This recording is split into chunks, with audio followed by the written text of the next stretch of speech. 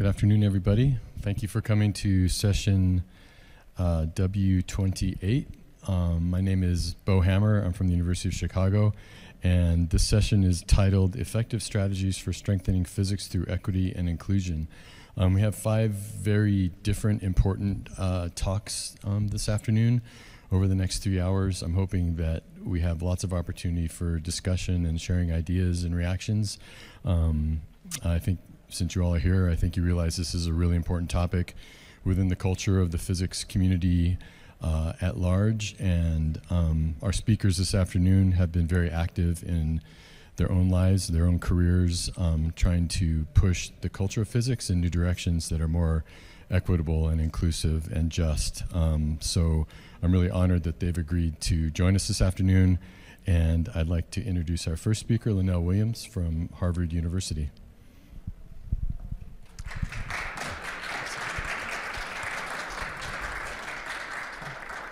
So just, just one more point. Um, this is being recorded. Uh, uh, the audio is being recorded um, so people can come back and watch the talks and see the slides. If you have a question, raise your hand um, and we'll try to get you a mic. Otherwise, I or the speaker will repeat your question. Um, so, Lynnell.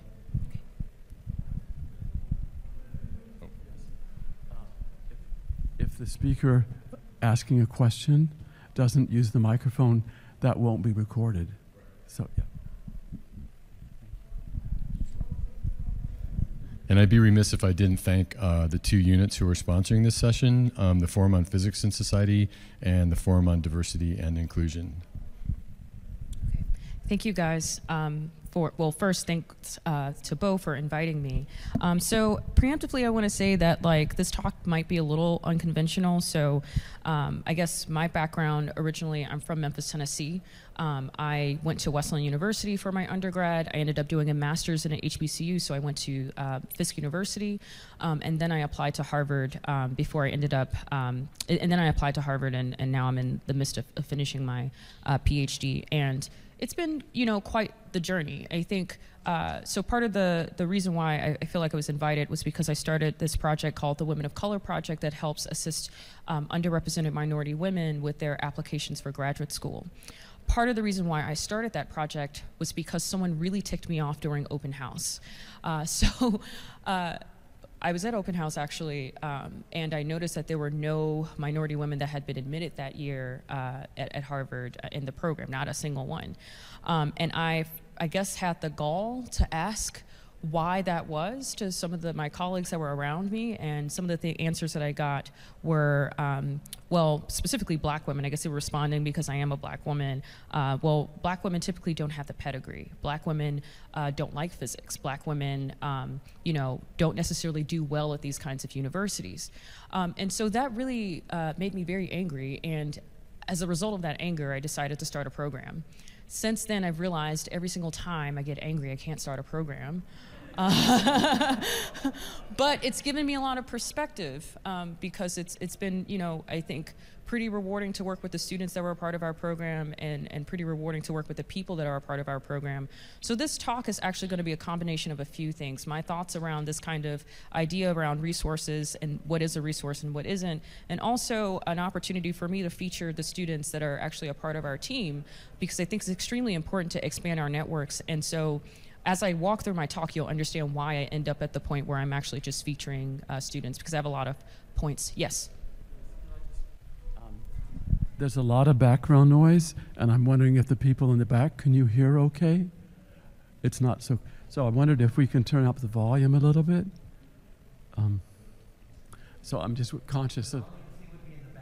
Oh, okay.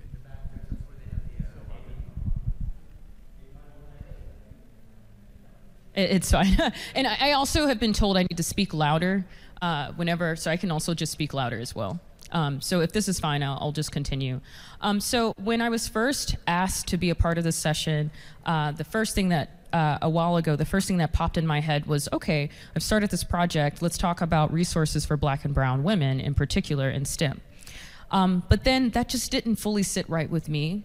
And part of the reason why is because it's really hard to define what a resource is specifically and what that looks like for black and brown women in particular. Um, and so I just wanted to ask a question, and, and also I want to preemptively say I feel like I want this talk to also. I, the reason why I structured the talk that I did really isn't uh, to provide you guys with specific solutions or answers, but it's, it's to get you guys to think about things a little bit differently and to prompt some discussion around this topic. Um, so, what does it mean to be a resource? So, if you look up dictionary.com, it says to provide a person or an organization with materials, money, or staff, and other assets necessary for effective operation, right? Um, and that's going to vary based off of where students come from. Um, that's going to vary based off of their personal experiences. That's going to vary based off of what institutions that they're in. Um, and I think that we have a lot of conversations already about programming and, and, and um, scholarships and, and, and um, different efforts that provide resources for um, black and brown women in particular. What we don't talk about are barriers. So, what does it mean to a barrier? And that's basically anything that serves to obstruct passage. And I think within this conversation of diversity, equity, and inclusion, we don't think about how, even as we're trying to create resources for um, uh, people of color in particular in this community, we don't think about how we can simultaneously be becoming barriers ourselves along the way and throughout this process. And so I want to kind of restructure this talk and also while we're talking about resources, while we're talking about you know the different things that I've sort of experienced and um, the different topics around um, trying to improve this community, um, I want to sort of propose this question, and we're not going to answer this today, but like think about this moving forward and in the future you know how are we like being conscious of the ways and you know that we can actually become barriers to people of color in particular, black and indigenous people who are in STEM, especially if they're women, especially if they're gender minorities, um, and being open minded about that. So, I want to first say, as we're starting this talk, um, I'm speaking for myself. Um, I'm also speaking for my experience as a black woman. So, my program is for black and brown women, in particular, Black, Indigenous, and Latinx women in particular because they're so underrepresented in STEM. But at the end of the day, my experience and my perspective is that of a black woman. The other thing I want to add, and this is a potential barrier that I've actually seen consistently, even within the DEI community, is this gaslighting culture, where if one black or brown person says something, it suddenly automatically negates the next person because it aligns more closely with your views. So I want to actively say and sort of practice, and hopefully I, I hope I encourage other people to practice, that this talk today and the things that we, we discuss as, we're, as I'm going through my presentation, um, aren't used to gaslight any other black woman or any other indigenous woman or any other woman of color or any other person of color who might have a different perspective than I do on these specific topics. I'm speaking from my perspective and from my journey. And I think it's okay if we allow some space for us to be able to have these conversations and allow for us to talk about these things with you know allowing people of color in particular to to maintain their humanity right? And not sort of be, be forced to adopt, you know, um, one person's ideals onto the, the next person. I think that, that that level of humanity is robbed from us often in these kinds of spaces, and so I want to explicitly say that. The last thing is, like I said before, the goal of this talk for me isn't to give you any solutions specifically or any answers. It's really to prompt some discussion, uh, give you some perspective, um, talk about a few things that probably haven't been commonly discussed in our community. So, we are going to get started. Um, this might be triggering for some people, but we are operating under the bare minimum, and I want people to think about that. If this country decided to think about the history that it's had, it's had with black people and indigenous people in this country, and decided to say, we're gonna carve out space and money for you guys, we're gonna open up seats, we're going to give you this passageway. We're going to ensure that you're successful. We're going to train you in these positions to make sure that you are successful and that you uh, get back the sort of equity that we've lost throughout history and, and time as a result of racism and all of the other isms that are attached to our identity, then that would be the bare minimum that this country could do for people like us. So I say this explicitly because I often acknowledge or often view or have witnessed a level of um, I wouldn't say tokenism, but I would say needing to have like the gold star and the sticker and all of these other things to uh, incentive to participate in DEI work. I would encourage that we all remind ourselves that what the bare minimum is so that we understand that to some extent anything we contribute whether it's you know a small thing that day to day hey let me have a conversation with a person of color or like let me person on their journey or let me uh, participate in this huge program or let me start a program is still under the bare minimum. And I hope that, that you, you keep that in mind. Um, and I say this because when we forget that we're operating under the bare minimum, it makes it difficult. I don't know if, am I going in and out? Okay. So it makes it difficult for people of color or people who come from marginalized backgrounds to criticize or acknowledge the things that they might want to change or see changed. Even when even within a community that is actively doing the work there's still a lot of growth that needs to happen as well. And i think that i would encourage people to just be a, a bit flexible around what they feel they're doing for people of color what they feel they're doing for people like me in particular so that they understand that like as we're operating under the bare minimum, we can always keep, you know, striving towards that, okay? Um, so I wanted to say that explicitly. Um, I don't know if anyone has any comments or questions, but I, I, do have a few more slides to, to get through as well. Um, the other thing I want to note that I've sort of observed, and one thing I want to put on your minds is that many of us uh, are seeking answers because we want to ignore the trash that we're trying to hide within our universities. Sometimes the answers that you seek are right underneath your nose. The students that you have not served, the students that you have failed, the students that you might consider to be angry are actually probably the people that you should be trying to talk to as much as you possibly can, if they allow you to. Of course, you can't stalk anyone, or you can't stalk anyone, you can't, you, you can't force anyone to participate. But the thing is, I think that this culture, and, and I guess my point of this like whole talk is I'm challenging this community you know, to think a little bit deeper about how we're going about this work. Um, but what I often see is this, like this guy is like taking his like trash and like putting it underneath the, the little planter there to try to hide the fact that like this is actually happening. And if we were more transparent about what the reality is, we could actually continue to improve. So before you go to this random person that you know, or this person you met today who's talking to you and say, hey, Lynnell, what, you know, how can I fix my department? How can I fix, you know, the DEI community or physics community? Think about the people that might already be around you that you might not have already talked to, the people that might have had these difficulties, who, e even if it's in the form of an email, find those emails, find those complaints, right? And you, starting there, I think, is a really impactful, really important place to, to look into before you start reaching for people that might align more with your own views. Okay, so I would also say that not all of our journeys are the same. So we live in a culture where we say white and people of color, right? We just completely erase all of the uh, different identities and ethnicities and different experiences people have under that POC umbrella. There's a reason why, even today, I use the word BI, there's always a new acronym, but BIWOC or Black and Indigenous people or BIPOC or all of these other acronyms where, we keep separating us ourselves into these different acronyms because we consider all of our experiences to, to be the same. And at the same time, we also do this within, I've just witnessed this in, in programming efforts, et cetera, where we say people of color, and then there's like a subset of people for instance, I'll just use, for, for instance, there have been programs I've been a part of where, in particular, their black students in particular were having a difficult time.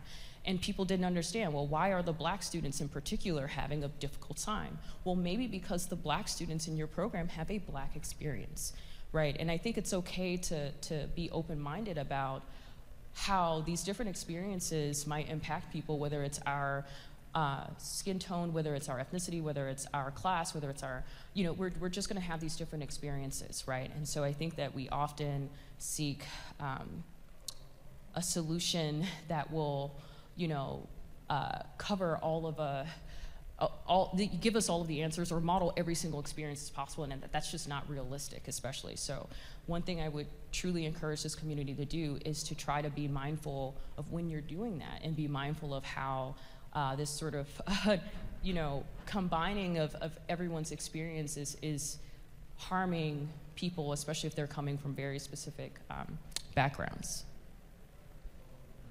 Cool.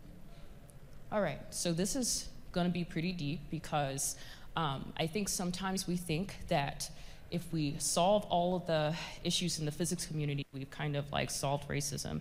And I, the way I try to think about this is like this very common like uh, thermodynamics problem that we have, where you take um, your system and you put it in a bath, and the bath has a temperature, and you can like exchange, you know, temperature between. Um, even if everyone in this room today was like anti-racist and everyone on this floor was anti-racist, it does not mean that we live in an any less anti-racist country and that that culture outside of the physics community isn't seeping back and forth between the physics community and the outside. I'm not saying that we shouldn't fix the physics community. I'm saying that giving this sort of perspective around what the broader community is and you know what my our experiences are as like people of color in particular remind like i, I, I go to harvard if Harvard decided to be a perfect department tomorrow, that will not that wouldn't will not stop me from walking out of Harvard and still being a black, black person in this country. And that's important, I think, for people to to to keep in mind. Um, but I, I, really like this example because uh, I, it's it's as if we want to. Uh, we forget that the, the, the bath uh, and the temperature can be exchanged both ways in, in this community.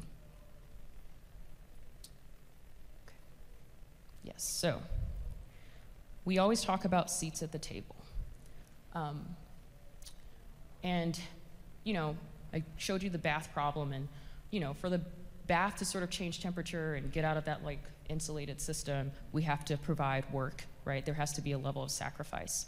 Um, and first, I want to also acknowledge that like this kind of work is emotional. It's draining. It, it does cost a lot from people, no matter who you are. Like if you're a part of this community, it it it cost work. Like, I don't want to like rob anyone of their humanity. Um, but at the same time, we're not going to get anywhere if the work that people are willing to do is only within their means. So we talk about having more, you know, getting more like people of color seats at the table, right?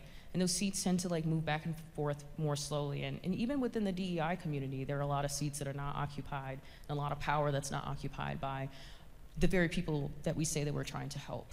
Um, and I, you know, hopefully maybe one day some people are willing to step up out of their seats whether it's you know a powerful position whether it's an award whether it's a position i don't know what that looks like i don't have the answer for that but I guess my point of this slide, or, or even showing this slide, is to really say that there is, at some point, if we keep operating within our means, at some point, we're gonna like hit a wall. And it's gonna require that some people allow a level of personal sacrifice. It doesn't have to be an individual, but even if it's, you know, a university or an entity, there's gonna be a level of work and personal sacrifice that pushes people to work outside of what their means are to allow people who are coming from these backgrounds to occupy space and to occupy power, right? Um, and that's important to consider in like the grand scheme of things. Okay, so I've talked about a lot of perspectives and a lot of things that I have thought a lot about since starting this or thinking about what to present today. And I guess the sum of it is I, I challenge the, the before, you know, I, I challenge the physics community to do better, but I also challenge the DEI community to do better and also just be mindful of when and where you're also creating these barriers as well, even within the work that you're trying to do to improve the community. Because if we can't do it, how do we expect these other people who don't care at all to, to do that kind of work as well? So what can we do? And so this is where I'm transitioning into the other part of my talk. I don't know how much time left I have, but I, I did want to allow for a discussion. 12 more minutes, okay, let me get through. For the talk, okay, great. What can we do, in my opinion? Um, and this is just my opinion. And it's very simple, actually. Um, let's stop the lazy networking, right? Let's stop the I know one black person, I know one indigenous person, I'm going to keep calling on them 10 times to do the same thing. Let's expand our networks because a lot of our networks are very much the same, and we should probably include more people in those networks. Um, so that's one thing where I feel like can make a huge impact. We need to make our networks a lot less white. The other thing is support our individual journeys and don't rob us of our humanity. So some of us want to be academics. Some of us want to be CEOs. Some of us want to be activists. Some of us want to work for corporate. Some of us want to do art, okay? And some of us want to do some combination of all of those things. But at the same time, you know, we should be allowed to sort of uh, curate our journey and curate that mentorship based off of our individual interest. And so I would like to encourage people to try to, when they're thinking about mentoring minorities or mentoring people of color or mentoring black students or mentoring underrepresented minorities, I don't think there's a single answer because we're. We have our own journeys and we have our own likes and our own dislikes and our own thoughts. So if you meet a student who wants to be a biologist, help them be a biologist. If you meet a student that wants to, you know, go into patent law, help them become a like a patent lawyer. Don't just like stick this like one size fit all uh, sort of solution or journey or mentoring step, et cetera, on this one person because it might have helped someone else or that's what we're supposed to do. Um, so one thing I would highly encourage is that we uh, think about how helping people like me, people like um, people who are in this community who come from underrepresented minority backgrounds on their individual journeys as well. So, the Women of Color Project, I spoke a little bit about before. Um, I just wanted to briefly say it's basically a three day workshop where we help students with their graduate student applications. Uh, we try to support students virtually and uh, in person. Uh, we're trying to plan an in person conference soon. Um, we've been supported by Harvard and the Heising Simons Foundation and SECUM and many others. And if you want, we can take like 30 seconds to take a picture. But uh, if you want to um, reach out to the team, this is uh, the Women of Color Project's uh, information. And I'll do this a few times actually as I, so keep your phones out, uh, as I like go through the next uh, slide. Yeah. So I said, expand your networks. Oh. Okay, yeah, I was gonna go. Expand your networks, help us on our individual journeys. So I'm gonna provide you people who have given me their permission to share their information because I don't own them. Um, what they're doing. So I want to highlight the people, women on my team, and the people I've been working with. So this is Michelle Aaron. She's at Johns Hopkins. She's a PhD candidate. She likes to study minerals on Mars. Um, this is her social media contact. So if anyone in this room is interested in environmental science and astronomy, you should reach out to her and say, hey, like, come and give a talk. Uh, maybe be on this panel. Maybe, you know, here's a, a, a, you know, some advice about grants or whatever. Like, this is Michelle. Danita Douglas is a uh, student at Rutgers University. Uh, she's from New York. Uh, she's a mathematician, but she also likes neuroscience um, and psychology. Uh, she does a lot of STEM advocacy stuff. So I purposefully had the um, interest there because, again, like I said, some of us want to do science, some of us want to do advocacy, one of us, some of us want to do all kinds of things. So um, here's her contact information. Um, she's also been uh, part of our team since the very beginning. These are all like really excellent people. Okay. Janelle Gonzalez. She is currently a PhD student at Johns Hopkins. She's from Puerto Rico. Uh, she studies exoplanets. Um, she is also in DEI advocacy. Um, here, her, here's her information. She also plays the trombone. Actually, when I reached out to her, I was like, I didn't know that you played the trombone. So if anyone's a musician and they need someone to like join their band or something, they need a, someone who plays a trom- the trombone. Like you could reach out to Janelle.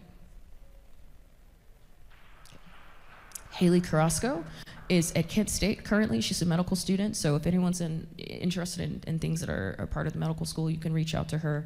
Um, she's a, a, physicist specifically, but she she's uh, in, in biology. Um, and uh, yeah, she does a lot of tutoring for, for Onakita as well. I wasn't able to share her information, but I still wanted to highlight her. Uh, Fiona Williams is currently a uh, PhD candidate at Harvard. She's also an IBM fellow. She's from Jamaica. She does 2D materials, um, and she is currently also a tutor at Onakita, which is a, a program I will also talk about at the end. Um, and here's her contact information.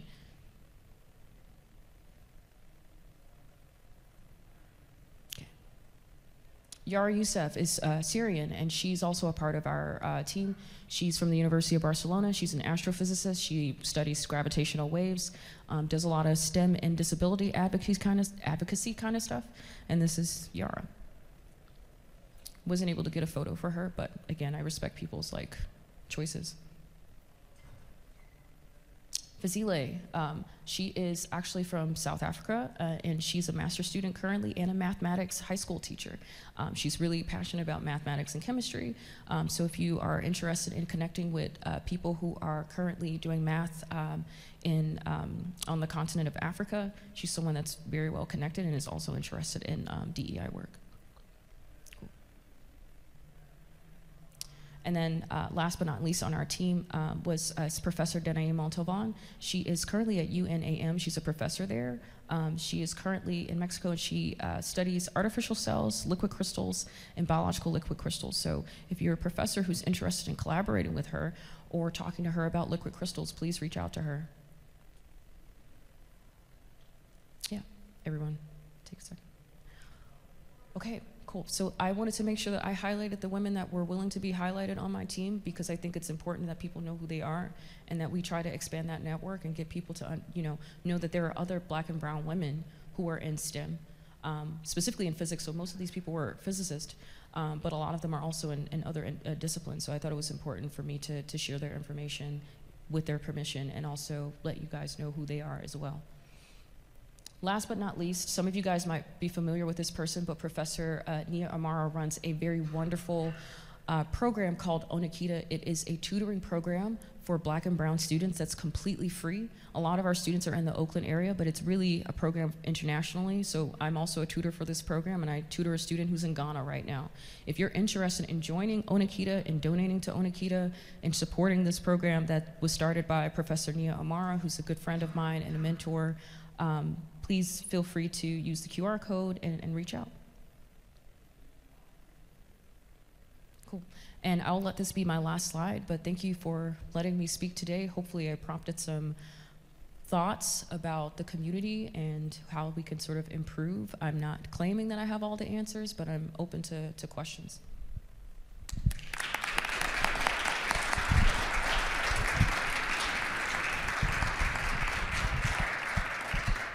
Thanks, Anel. That was great. Um, I think we have about 10 minutes for Q&A. Um, so please ask a question. Um, so I guess I have a couple of comments, maybe not questions, but you can give me your thoughts. Um, I was thinking, basically, we suffer in this country from a rule of min- a minority rule, right? So that would be one thing to fix on the long list of things to fix. Um, but from my perspective and from some of the data that I've seen presented throughout the conference is that we are the majority. So I feel like I'm, I'm kind of, I present a very optimistic personality, but I have the pessimist buried deep down. So I am kind of critical on the issue, right? I, I can see kind of like, I like to think that I see uh, multiple perspectives. But because we're the majority, I think that the long list of issues is something that we can tackle on every front. We have the people to do it, the motivation to do it. Um, it's just a matter of putting our heads together and figuring out how.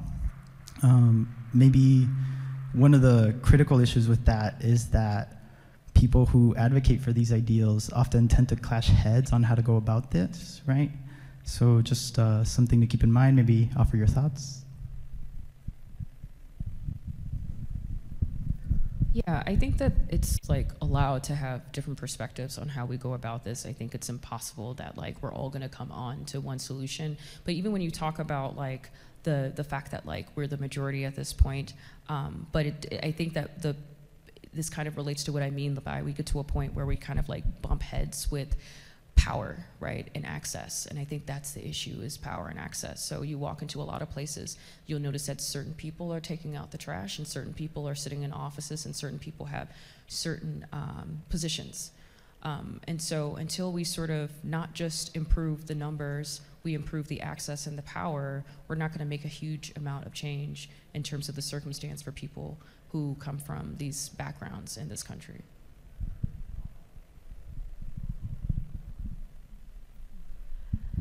Thank you very much. Could you put back the slide where you had all your organizations so I can take a photo of that?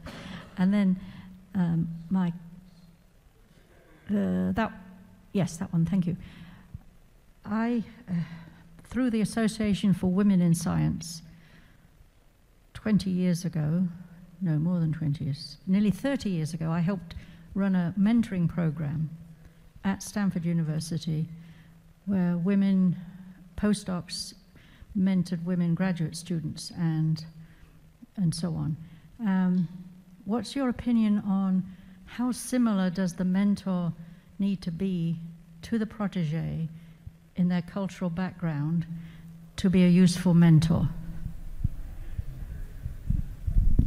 So, my opinion on this is I always tell students you can have multiple mentors.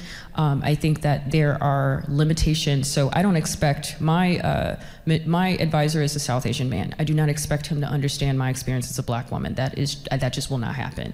Um, but I, I, do try to encourage people to work with people's strengths and their weaknesses um, when it comes down to that. Also, just because you have a mentor that is similar in identity doesn't mean that they may not necessarily, it depends, necessarily be the best mentor in terms of um, for instance, your uh, career. Like, I'm not going to talk to another astrophysicist, no matter their identity, about biophysics. I'm a biophysicist.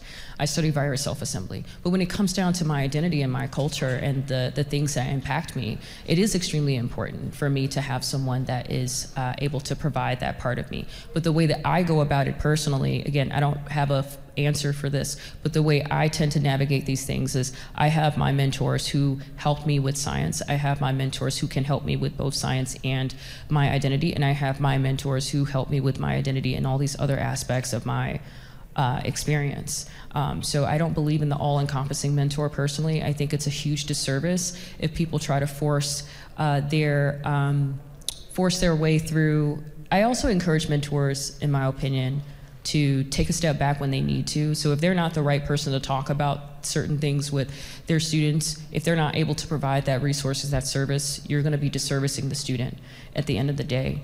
Um, so it's it's really hard to kind of like think about what it means to be the best mentor for a student. I, I try to be open-minded about like having a mentoring network and having the people that are able to provide the things I need for my identity and the things I need for my science at the same time. And if they both overlap, that's great. Um, but I don't think that any student should be forced in a, into a bad mentoring relationship. Um, you know, just because someone wants to be their mentor, wants to advocate for them.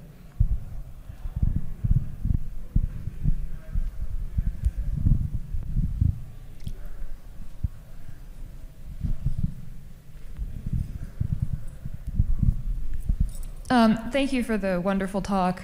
Um, one of the problems I think we've probably all noticed uh, with EDI work is the sort of diversity tax, where the people who are trying to, to fix the problem by doing all this work are usually the people impacted by the problem, and then they have to spend more time uh, mentoring others and contributing to these programs and sitting on panels, and then they can't advance their career or spend as much time advancing their career as people who aren't participating in this project. So I think that's a huge issue. And over the years I've worked on these, I haven't really seen a good solution for it yet. So I was wondering if you have any thoughts on that or if you've seen particularly good strategies on addressing that issue.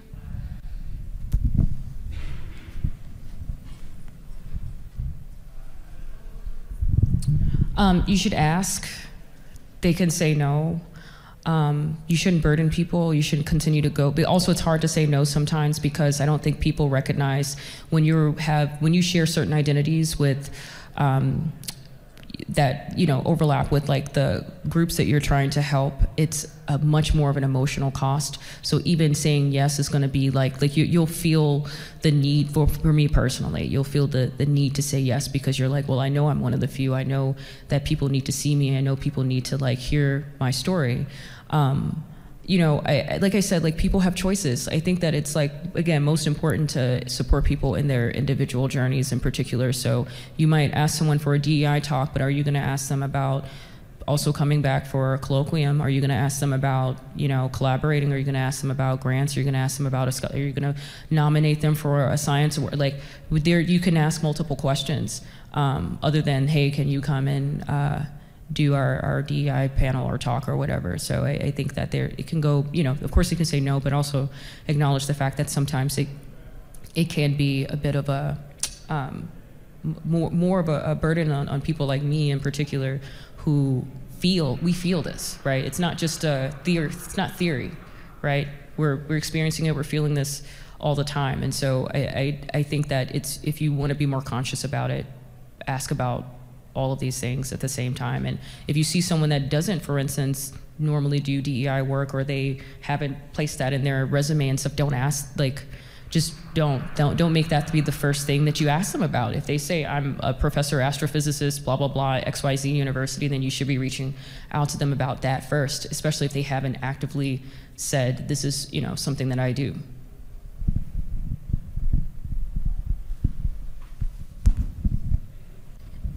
We have time for another question.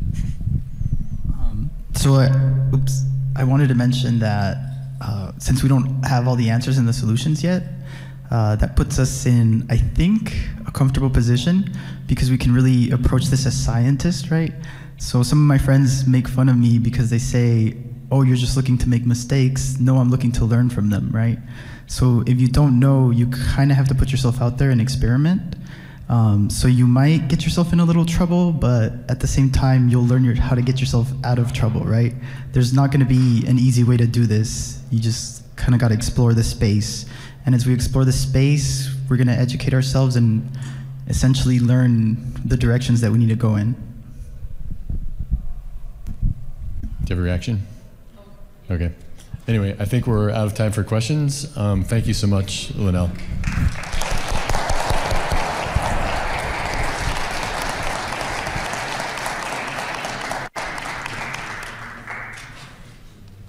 We have your talk here too. No, you don't. I can guarantee that you do not have my card. Okay. It'll Don't take a break it. second. Don't break the system. I know. It should take a second. Uh-huh, Okay. What happened there? It has not, it has worked in, it worked in the other one. So.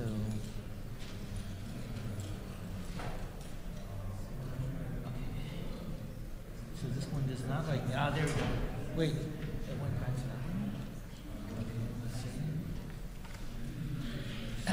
It did like me in the other, but not in this one. So it's- I apologize.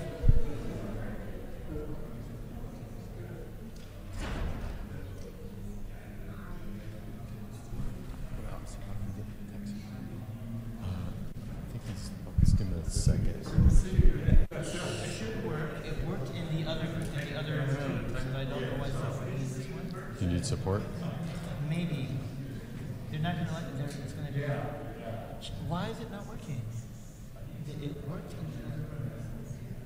Do you see? Do you see the two computer toggles up there? Yes, it's, what's, in- no, I don't see any. See anything. computer in, computer one, computer two. Right, so it's, it's, so you have the toggle, I think they have their toggle wrong. They're doing memory viewer. Their toggle's wrong. Oh, Uh, so do we do any tech support, because their toggle is wrong. okay. So just a brief break. A moment while we figure out the toggle. I am so sorry. I think Fred went to go.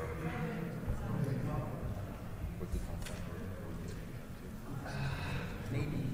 No, probably not, but I'll, I'll make it. Oh. How do I get there? Yeah, that does, that's easy.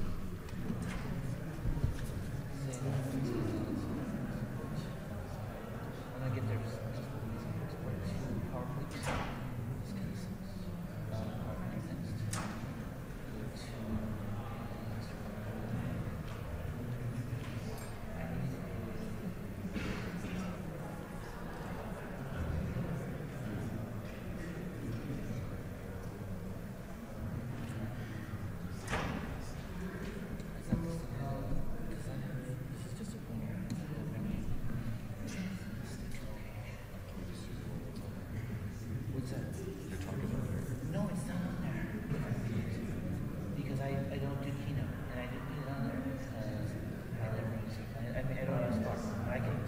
this actually is the answer. No, but you don't see uh, it bold. So it's not on there. Um, okay, so you have a USB drive? Okay, so I just have to run it on. Do you remember the?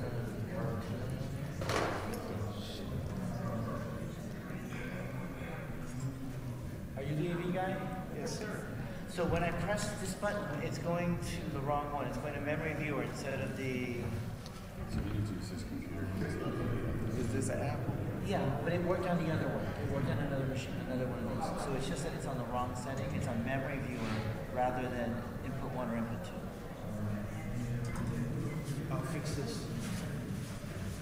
It's not switching over. Yeah, it might not detect. What is it, a Mac? So- Yeah, you got a Mac. Yeah, it's not gonna detect. I've been having this problem. See, it's on no signal. It's on number one. It's not on uh, Yeah, computer. it, that's that's the signal that's coming out of this directly to the uh, directly to the projector. So my computer worked perfectly fine with all other monitors. With the other one, so I, it should have worked with this one. Okay, that's this computer here. Yeah, and I press that button, and then it doesn't see it for some reason. It, it on other.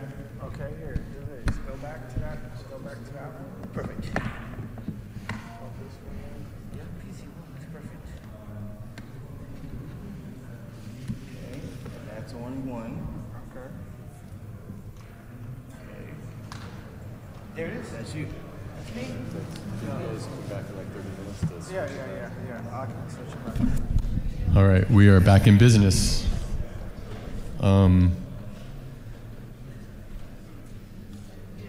Just, just introduce so we can get yeah. started. Okay. Thanks, everybody. Thanks for your patience. Our next speaker is Rigoberto Hernandez from Johns Hopkins University. Wonderful. Thank you very much, um, Bo, for the invitation, and thank you to the other speakers. I'm really lucky. I'm, I already enjoyed the first presentation, although I think she left. oh, this is unfortunate. But okay, uh, um, many of the things she said made me think about things that we could um, work in together, and I, I learned a lot from the previous talk, and I'm sure I'm going to learn from others. Um, I am a physical chemist, chemical physicist, so as a consequence, I am um, the and I'm the program chair for the Division of Chemical Physics. But I'm also a faculty member in chemistry. So be aware that I am a, uh, somehow on both sides of it. And so sometimes I'll be talking from the perspective of what we've done in the chemistry community, which I believe that we can also do in the physics community.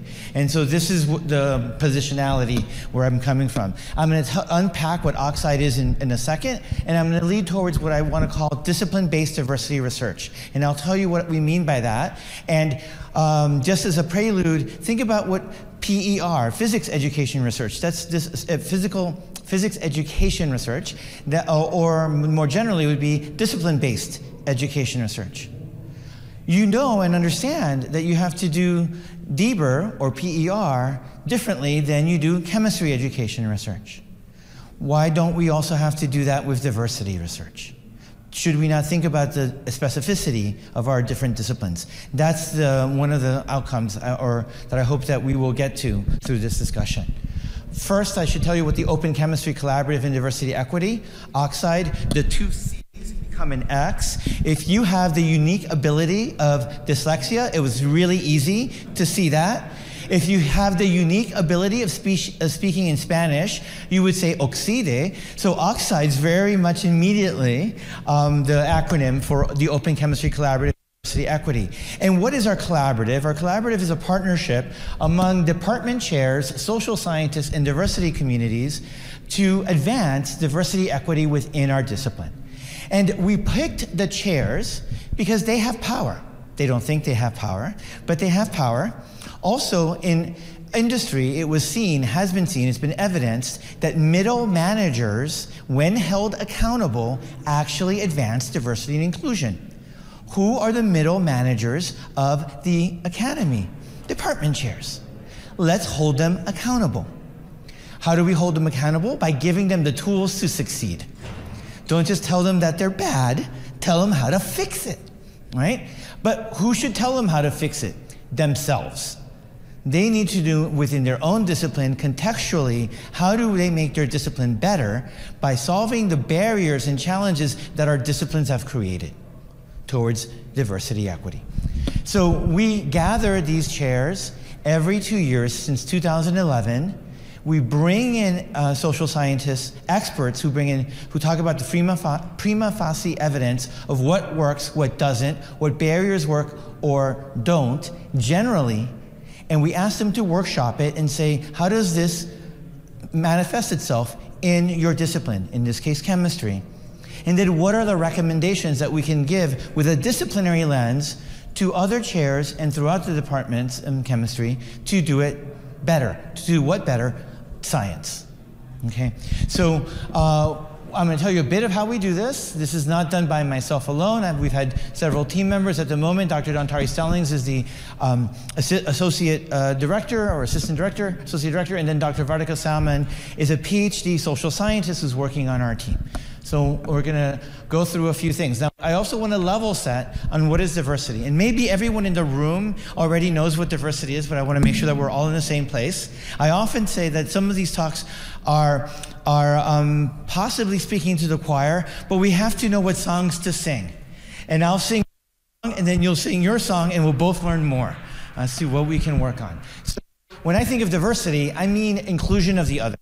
Historically, crazily, not crazily, universities have said we are better because we bring people from all over the world. We bring people with different socioeconomic backgrounds. We bring the best minds to our institution, so we are better. Historically, they had this myopia that they wouldn't notice that they weren't being diverse in terms of the gender binary. They weren't being diverse and inclusive and bringing the best minds along race and ethnic lines. They weren't doing this along disability lines. They weren't doing this along the identity and orientation spectrum, which here I've used as this acronym soup LGBTQIQA+, but that is not a single category.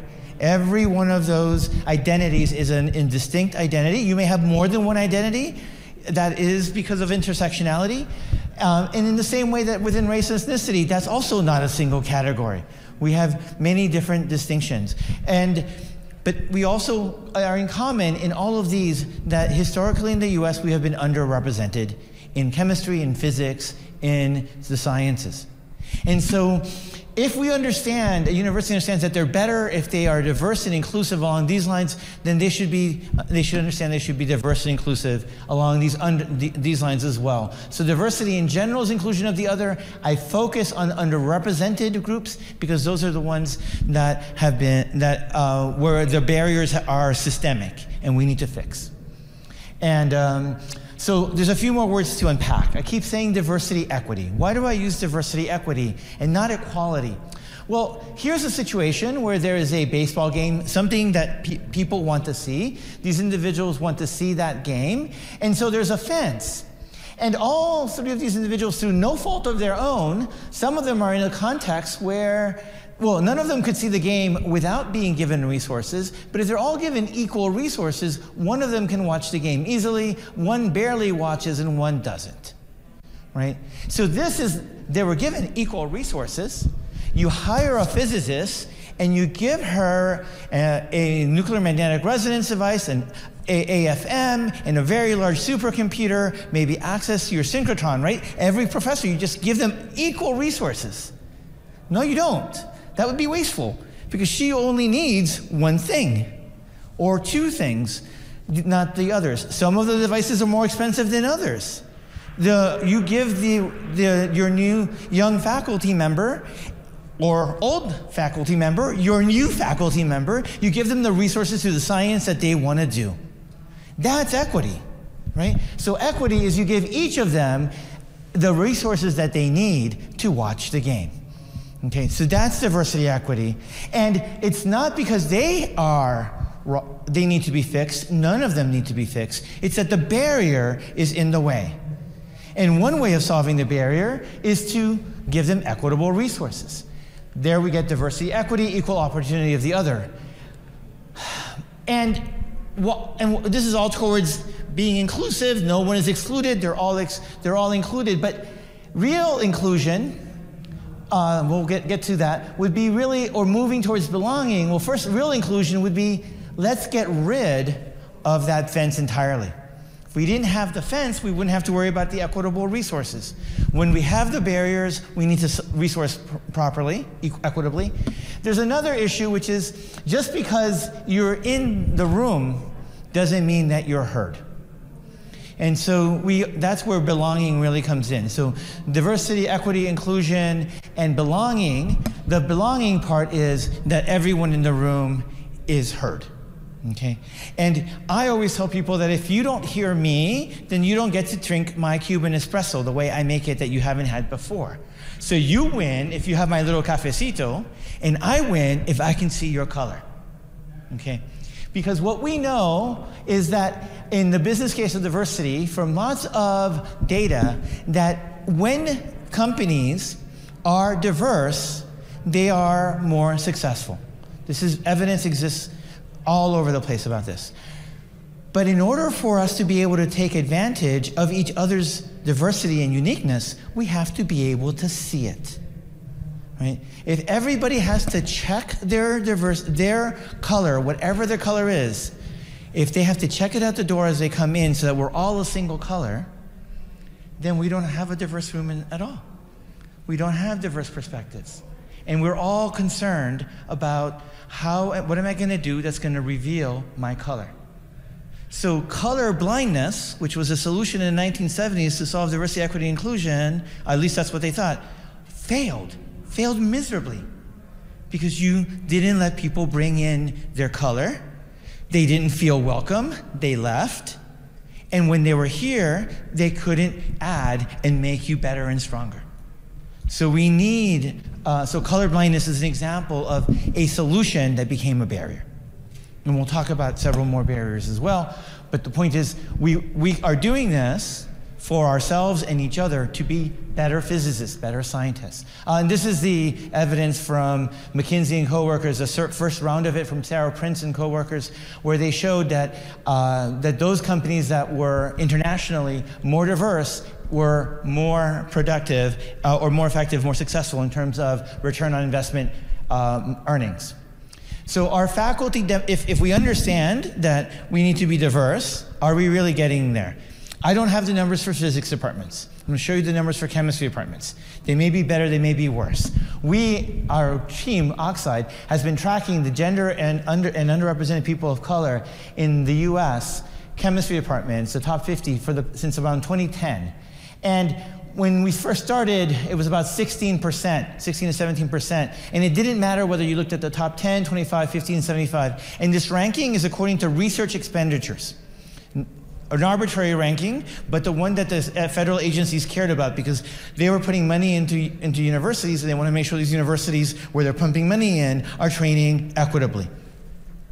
And uh, female faculty in the top 50 when has gone from about 15 to just over, now it was in 2016, 19, under 20, it's now over 20 percent. Underrepresented people of color, I meant to fix that. We no longer use URM, we use underrepresented people of color, and um, because the term minoritized is loaded and wrong. I'm not a minority as an individual, but I am a person. Uh, so the, in the top 50, we've gone from about 4 to 5% over this period of time. Let me show that to you here in terms of faculty members. What you see is that the faculty members as a whole are going from 4 to 5. Assistant, which is blue, was going up significantly over, the, over, uh, that, over 8 or 9 years. Associate is going down, and full is going up. This associate going down was because the associate ranks were um, had been undersupported. People had been under promoting our associate professors of color. And through the effort of our chairs, learning about these, uh, these uh, challenges and barriers that they were putting into their in front of their faculty, they started to fix them. And suddenly we started to have more full professors and uh, losing the associates while still increasing the assistants. So, this is a, a, marker, we believe, of some of the success we've had with um, the chairs. And, um, well, this is another way of logging the numbers. And so in this graph, I'm showing assistant uh, professors in red, associate in blue, full in yellow, and all in black, in gray. Or no, in black, in black. And the same thing here. But in this case, those are the percentages of women that identify as women uh, in a gender binary, um, what their representation is. And here it's underrepresented people of color. Both of them have some slope. Let's look and forecast the future. They were really linear. The uh, goodness of fit was like 99%. Let's project for women linearly, which we know it's not going to be linear, it's going to be exponential decay because we're good physicists. Even if we were linear, we wouldn't get to 50%. Why would we want 50% as a target? I don't know. Availability. And, and, uh, and by the way, at the, at the PhD level in chemistry, we're at over 40% women. So 50% is not an unreasonable requirement or expectation, but we won't get there till 2062 if we are linear. For underrepresented people of color, we can get to 20% linearly in 2113. I won't be alive to see that. I won't get to count in that number when that happens, right? And, and that's just 20%. In this country, we're going to be over 50% by 2045, 2050 of, of so called underrepresented people of color in this country, in our general population.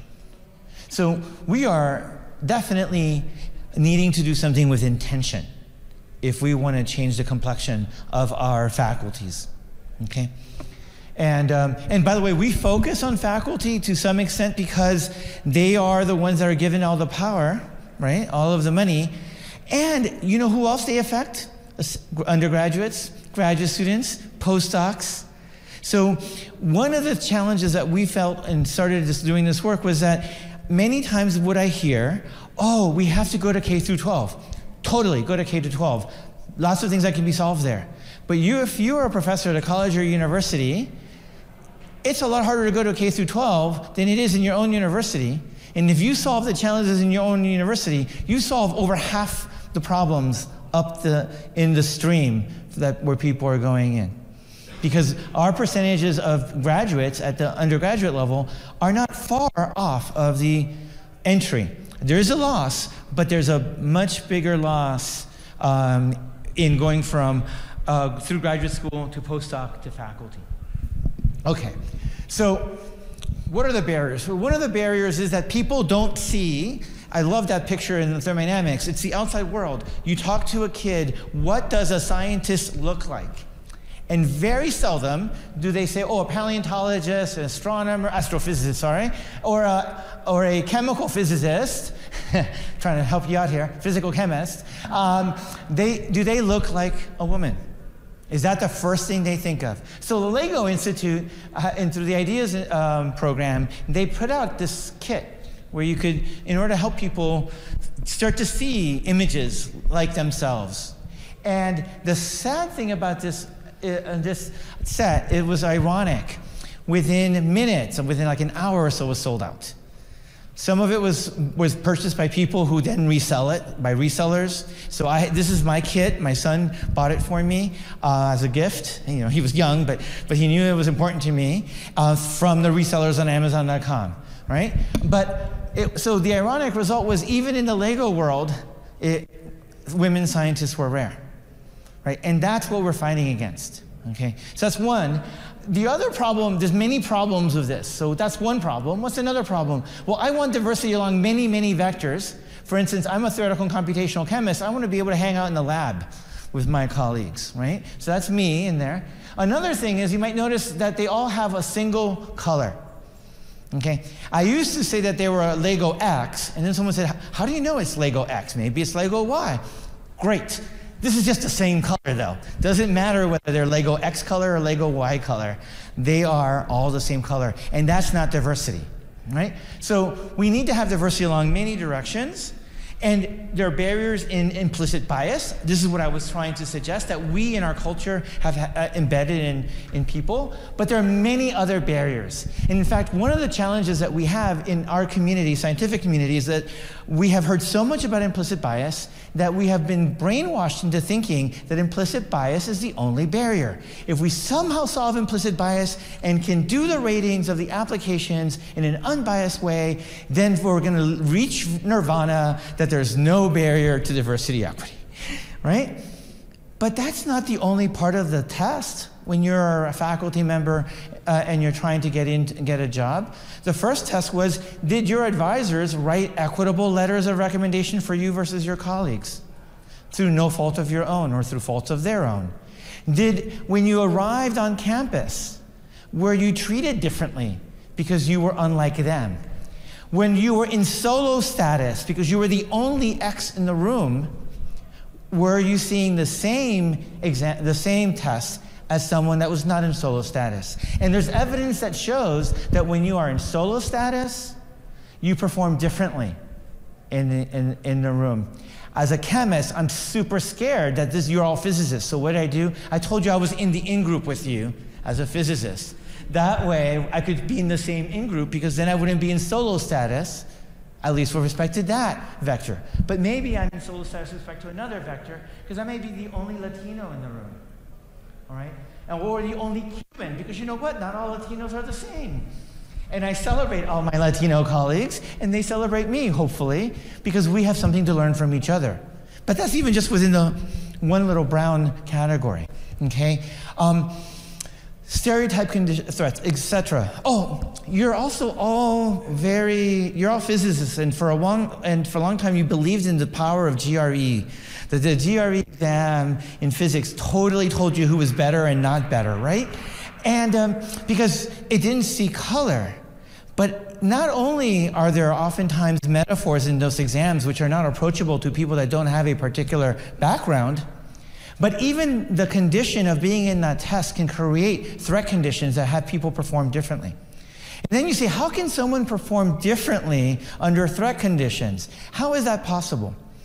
So let me just give you one little metaphor, a simple one. Have you ever heard of sports? Are there people who play the game of the sport? Like, they're the ones that win or lose, right? Then there's these things called coaches. Does a coach play a single minute of the game? Then why do they pay them so much money? Why? I mean, in our, in our colleges and universities, our football coaches paid more than anybody else in this.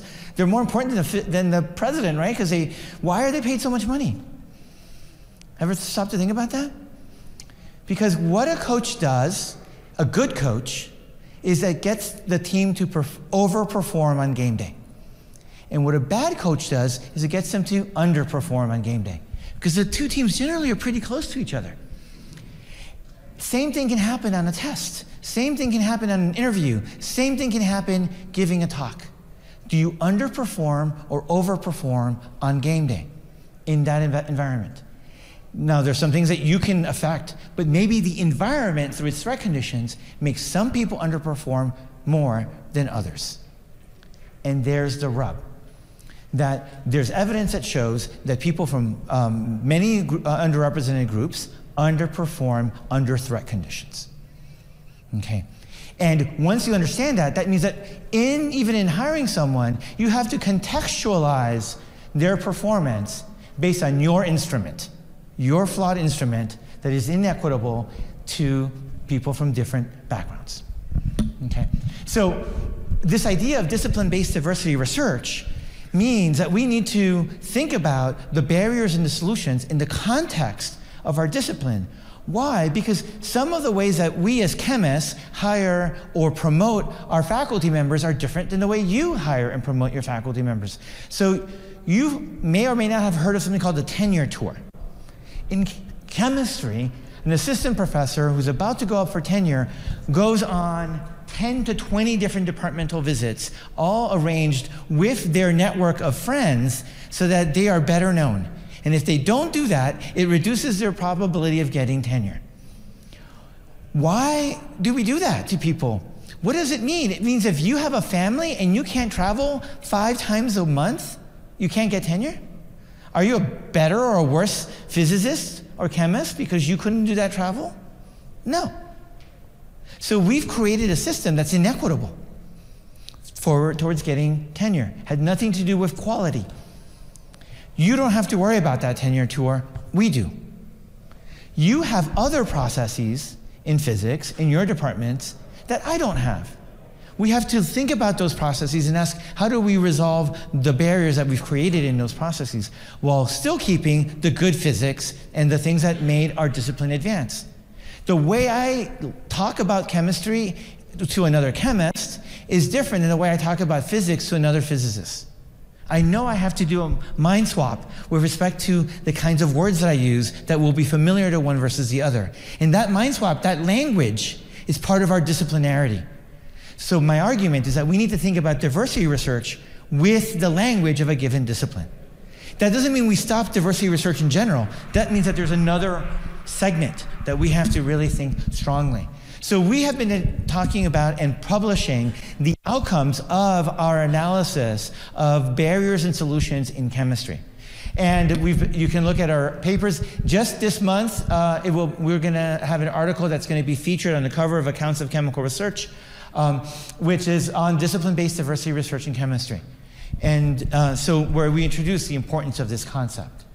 Uh, one, I told you before that we hold these national diversity equity workshops every two years. They are intentional, peer to peer, practical, evidence driven, and they're about networking. Getting the chairs to see that other chairs are also doing this and wanting to do it better.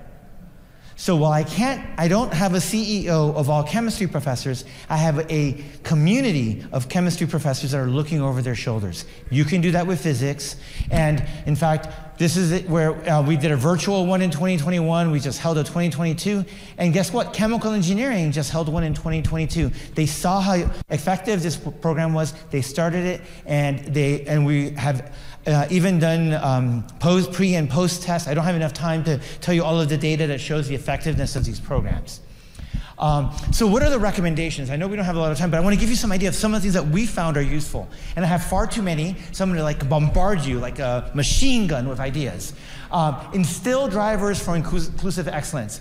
Um, equity, not equality, right? We got that. That was the first thing. Value, commitment, and results, not time served or availability.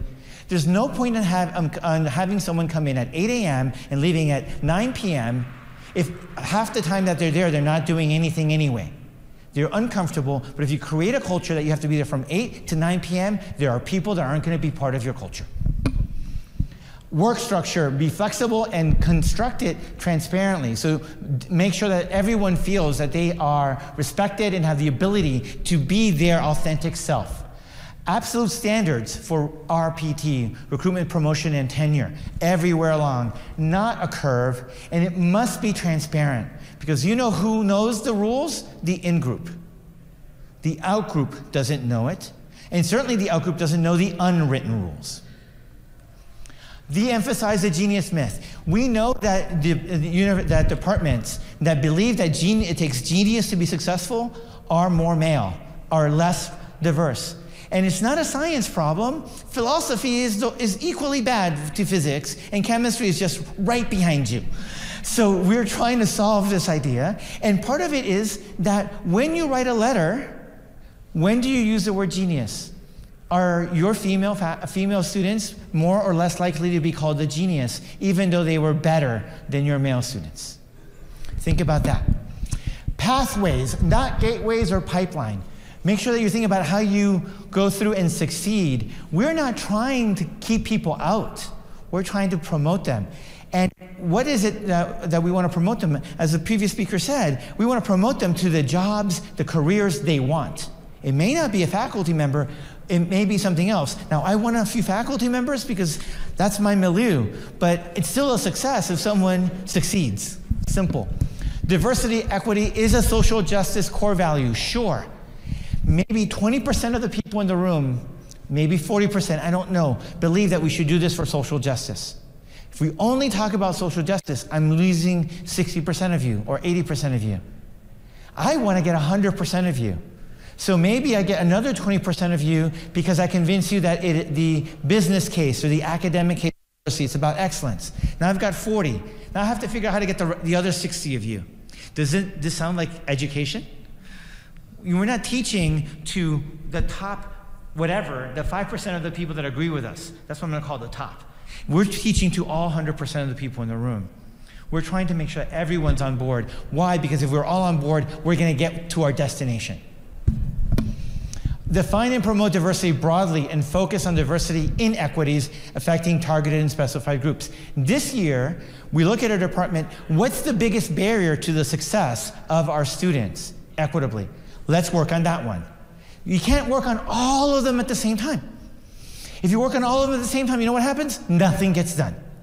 Pick one, pick two. After you do that, you haven't solved the problem, but you've made things a little bit better. And then you keep working. We're going to be working on this for a long time. So, recognize that traditional diversity training is not effective. There is data that shows that diversity training, after it has been implemented in companies, it has led to reduced diversi- diversity in those companies. Diversity training um, certifies people into believing that their, th- that their biases are, are allowable. I am biased just like the rest of us. The question is, what do we do with those biases? Right? And this exercise, this entire afternoon, is not diversity training. Everyone's going to leave the room with the same biases that they had before. But maybe we'll all leave the room knowing a little bit better how we can uh, identify ways to work with each other better and reduce the barriers to entry and to success and to belonging for everyone in the room. Academic pedigree should be contextualized and individuals judged on what they do thereafter. Don't use schemas. You know, you might love a very trained, well-trained dog. I went to Princeton as an undergraduate. I went to Berkeley as a PhD student. I had my um, postdoc at, univers- at, at the Weizmann and at University of Pennsylvania. You can't go wrong with that because you've just associated with four or five great schools. That doesn't say anything about me. The flip side is if I didn't have all of those schools, that wouldn't say anything about me either. Right? So don't just treat me as a schema. Treat me for what I bring to the table and for what people can bring to the table and what they've done with given that opportunity. And in that way, we can bring in people from a broader set of schools. In chemistry, for example, there was evidence that shows that in the top 50% of the chemistry departments in the country, about half the faculty members have been either as a graduate student or as a postdoc in one of five schools. They were using academic pedigrees as a one of their criteria. And in doing that, they prevented themselves from accessing very successful people. Uh, ensure that evaluations are based on qualitative statements, not feelings or schemas. So I talked about schemas, but not feelings. This doesn't feel like a professor. They don't talk like a professor. That's not a reason to not hire someone. Make a factual statement about what they do. I have two minutes. Oh boy. Um, be intentional, quantify the individual. Additional administrative responsibility should be correlated with additional support. This is an answer to one of the questions I was asked in the back. What can you do for me? You know I'm overburdened, I'm overtaxed. Every time I go to a, a, university these days, I spend two days, not one, because I give two talks one about my science, my theoretical and computational chemistry science, and one about my diversity equity science. I mentor undergraduates, I mentor graduate students, I spend time with the faculty, but that's a two day trip, not a one day trip. I am being taxed. That's the tax. So give me time back. Figure out ways to give me time back. Maybe you give me additional support. Not because you want to be, oh, but I have to give additional, uh, give support, administrative support to everyone in my faculty because it's equal. It's not equal. I have an extra barrier that my colleague doesn't have. It's equitable to give me my time back. Professor Star or Professor Maybe, when you're making that decision to hire someone, an assistant professor, you got the person from Princeton or, or Berkeley, and they're going to be great. You know they're going to be great, and they're white male, and we know that we love white males, but, but they're going to be great, and everyone wants to be associated with that Professor Star. And then we have my Cuban friend here, me. Oh, we're not sure we want to hire him. He's a theoretical chemist. We don't know if he. So we're going to find out whether or not he's going to be okay. That's Professor Maybe. How easy is it to get tenure if you're Professor Star? And how hard is it to get tenure if you're Professor Maybe? And was it equitable? But you agreed to take me because you were going to give me a chance and then test me later. No, everyone you hire should be Professor Star. Everyone you hire, you should promote because you're investing in them. And guess what happens when everyone you hire is Professor Star? They all succeed. And if they all succeed, who succeeds? You. It's so easy. So always reward success. Um, engage in community. So in this article, we said three major buckets: engage in community. I can talk more about diversity moments if you like later. Conduct authentic and open searches all through the process, and recognize and reward inclusive excellence. Don't overburden your faculty, and by the way, don't overburden your graduate students or your undergraduates. And by no means, when you suddenly have a problem with diversity equity, don't turn around to one of your faculty members and say, "Oh, you're Latino. Solve this for us," or explain it to me. Uh, in uh, the journals of physical chemistry, they wanted to amplify um, people of color voices. So last year, one way that they did this is that they introduced a viewpoint, they used a viewpoint to highlight a black scientist. Bill Jackson was one of the founders of the National Organization for Black Chemists and Chemical Engineers. He's also an amazing physical chemist, former chair of UC Davis, and so he wrote the first perspective. I was honored to be give the second perspective, a Cuban campesino in chemistry's academic court. If you want to know more about my own personal journey and interest, my positionality, which I did not spend enough time talking to you about, you can see this and you can think about what you would have thought about what I was going to say if you saw this guy versus that guy. So, managing inclusive excellence has to be intentional, needs to be contextualized. You want to promote a diversity culture. There are ways we can do that. Our outcomes are that we have tracked and reported demographics, we've seen upticks, we've seen departments implement solutions, and it has created advances, improvements in the climate. So there are solutions that you can implement. Read our, our materials, talk to me. We can talk, think about how we can adapt some of those to your discipline not use exactly the same because we have different disciplines. So uh, this idea of discipline-based diversity research has to be part of the perspective. How do you adopt it to your disciplines? So with that, I will thank you. I maybe overran my time and my students, and uh, that you can see them in lots of different places.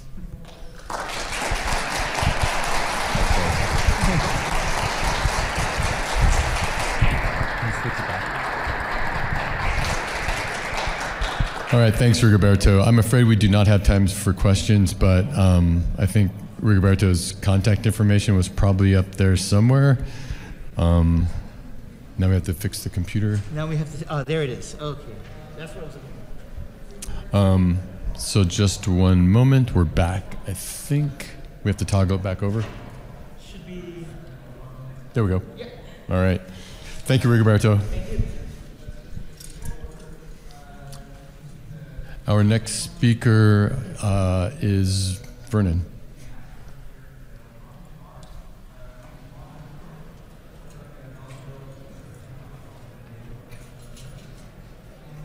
All right, our next speaker is Vernon Morris. He's going to talk about a very interesting and powerful paper that just came out.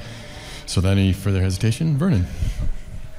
Thank you much. Um, I also want to thank the previous two speakers. They might have shortened my talk a little bit, um, but you'll definitely hear me speak in some of the same language, give some of the same recommendations. Um, I was a postdoc of Bill Jackson, so know him quite well, know his story quite well. Um, but um, thanks, and I'll, I'll try to jump in and speak fast enough to get through all the slides. Ah. Um, and the paper, uh, well, I'm going to talk about this particular paper that is uh, titled is Systemic Racial Disparities and Funding Rates at National Science Foundation. Uh, I'm going to introduce you to the, the team of folks uh, who are here. I am, uh, I think, taking the place of Christine Chen, who's a great colleague of mine, who I met through the course of writing this paper. Um, some of the other folks I kind of knew, but we got together and formed a nice community as we sort of commiserated, and I'll talk about some of the discussions that were going on that crystallized into this just in a little bit. Um, so the research team uh, appears um, very diverse in terms of the way that we other people. We look at them and we put them in a box. And so we look like we're in different boxes physically or our phenotype. Um, uh, but as it turns out, we are uh, quite epistemically common, have a lot in common, and enjoy each other very much, even though we didn't know each other much earlier. So Christine is a postdoc at Lawrence Livermore right now. Uh, Aradhna Tripati is now a full professor at UCLA, and uh, runs the Center for uh, Diverse Leadership. Uh, I'm at uh, Arizona State. Uh, Justin just started at Berkeley in cultural anthropology, so a geoscientist. Um, uh, also a geoscientist, Christine. Uh, actually, my work with Bill Jackson was a physical chemist, but I do work in atmospheric sciences, so I call myself a geoscientist. Um, Sarah uh, Sarah just um, yeah just finished her piece, uh, PhD at Berkeley and is now working with Rosie uh, at uh, University of Hawaii Manoa. Um, biogeochemist uh, Rosie Alegado is an oceanographer, uh, and I think also just got promoted to full professor. And then Karen Andrade, uh, research associate at CDLS at UCLA with Aradhna, but is now um, working remotely on Capitol Hill as a science advisor. So, a lot of different expertise and energy came into this. And what I'm going to do uh, for the next couple of moments is give a little context and level set. And again, I appreciate the, the level set that Roberto uh, provided. It is more or less consistent with that, but I challenge some of the definitions and the value of some of the words. And so I hopefully we can, we can get into it a little bit later. Um, but some of the discussion, at least, started with a paper, and I will speak to you um, as a geoscience. So we, we, you know, physics not very diverse, chemistry right behind physics. I think geoscientists are lower than physics in terms of geodiversity or diversity and inclusion. Um, but we're all neck and neck. We're not, none of us are doing well. And so a paper came out in Nature Geoscience uh, a couple of years ago now that said no work, no progress whatsoever has been made in 40 years. And they looked at a very specific uh, metric for that, earned doctorates uh, in ocean, earth, ocean, and atmospheric science and the percentages and said, look, our percentages are flat or going down. As it turns out, though, it depends on the metric that you use to know whether or not you're making progress. And so if you look at overall percentages, as uh, some of the data was shown a little bit earlier, I'll show some data. Percentages don't tell the whole story. But we're not making sufficient progress over the 40 years of investment in inclusion and diversity in geoscience. Another paper, uh, this is uh, Kuheli uh, Dutt, who's, I think, no longer at uh, Columbia, but uh, Earth Science as a Whiteness Problem. It talks about the percentage of doctoral degrees. So, linked to this work, but just saying that despite demographic growth, despite the population of students in the undergraduate uh, degree areas that are growing actually quite rapidly, we're not seeing that on the back end. And so, this was a New York, uh, New York Times article that was linking to that. A couple other linkages to previous talks uh, and hallway conversations that I've had while I've been here this week. One, the diversity innovation paradox. It's the great paper um, in PNAS, uh, Proceedings of National, uh, National Academy of Sciences. It was a, I think, a 30 year study of PhD theses in STEM. And they designed a uh, sort of a rubric to evaluate innovation. And what they found over that, and this is all of the PhDs in STEM over that 30 years, so very labor intensive work. Um, but what they found was that the most, the most innovative theses came from BIPOC PhDs. Despite the fact that they were innovating at higher rates for their PhDs, we know they weren't not getting hired over that same period in time. So they're not getting rewarded for being innovative and successful at the PhD level. This is not separate from the fact that we're not only not diversifying our faculty in STEM, we're not even on track to do it in the next 50 years. I think your, were your stats for the total STEM? I'm sorry for asking a question, but just chemistry. So chemistry, oh yes, okay. So if you look at all of STEM, it's a little bit worse. Um, and so this paper actually quantified that, looked at the rate of, our, of diversification of faculty uh, and the fact that you have to hire at a rate higher than the percentage fraction you are to beat it and get to where you need to go. It turns out we have to hire at least about four times as many faculty of color than we're hiring now. There's no indication of that. Uh, and then you have to balance that against the rate of retirements as well. And then the last paper was, I think, uh, this is uh, Clauset, uh, oh, this is, yeah, this is Aaron's paper. Um, talked about these hierarchy, uh, these hierarchies and dynamics. And this is, again, not limited to geoscience. These, none of these are limited to geoscience here. This is STEM-wide that a couple of things come out. One, a great number of the faculty that we hire are sort of legacy faculty. Their parents were faculty or one parent was a faculty, or both parents were a faculty. And they had the same pedigrees. And so there's this sort of incestuous, unwritten rule that we hire our own. And our does not mean people who look like me with angry hair standing up here. It means white men or women will be hired on the basis of pedigree, on the basis of who is known, whose parents are known, etc. And that has to change, but that reinscribes the difficulty that we see here, not diversifying, it reinscribes and says, I don't care how innovative you are, we're not going to hire you because you don't look the right way. And goes back to the previous slide where we're not going to make progress. So, again, I appreciate you, Rigoberto. I don't have to go through this too. All these words have been said before, but I do want to point to the fact that sometimes we're using language, we're hearing language that gets conflated, that gets interchanged when it's not the same thing. And so it's useful if we are going to make progress to level set and understand what we mean by structural racism versus systemic racism. What's institutional racism, which can combine those two things together. So I, I, I do think very nice job was done on these, but these are distinct concepts that come out of sociology. And if you haven't read uh, Eduardo Bonilla Silva, please read this guy or go to a talk. He's very clear, uh, very detailed, um, and very authentic in his delivery of what these things mean and how they continue to reinscribe. So, very quickly, systemic racism, and I'll use some of these terms later, which is why it's uh, important.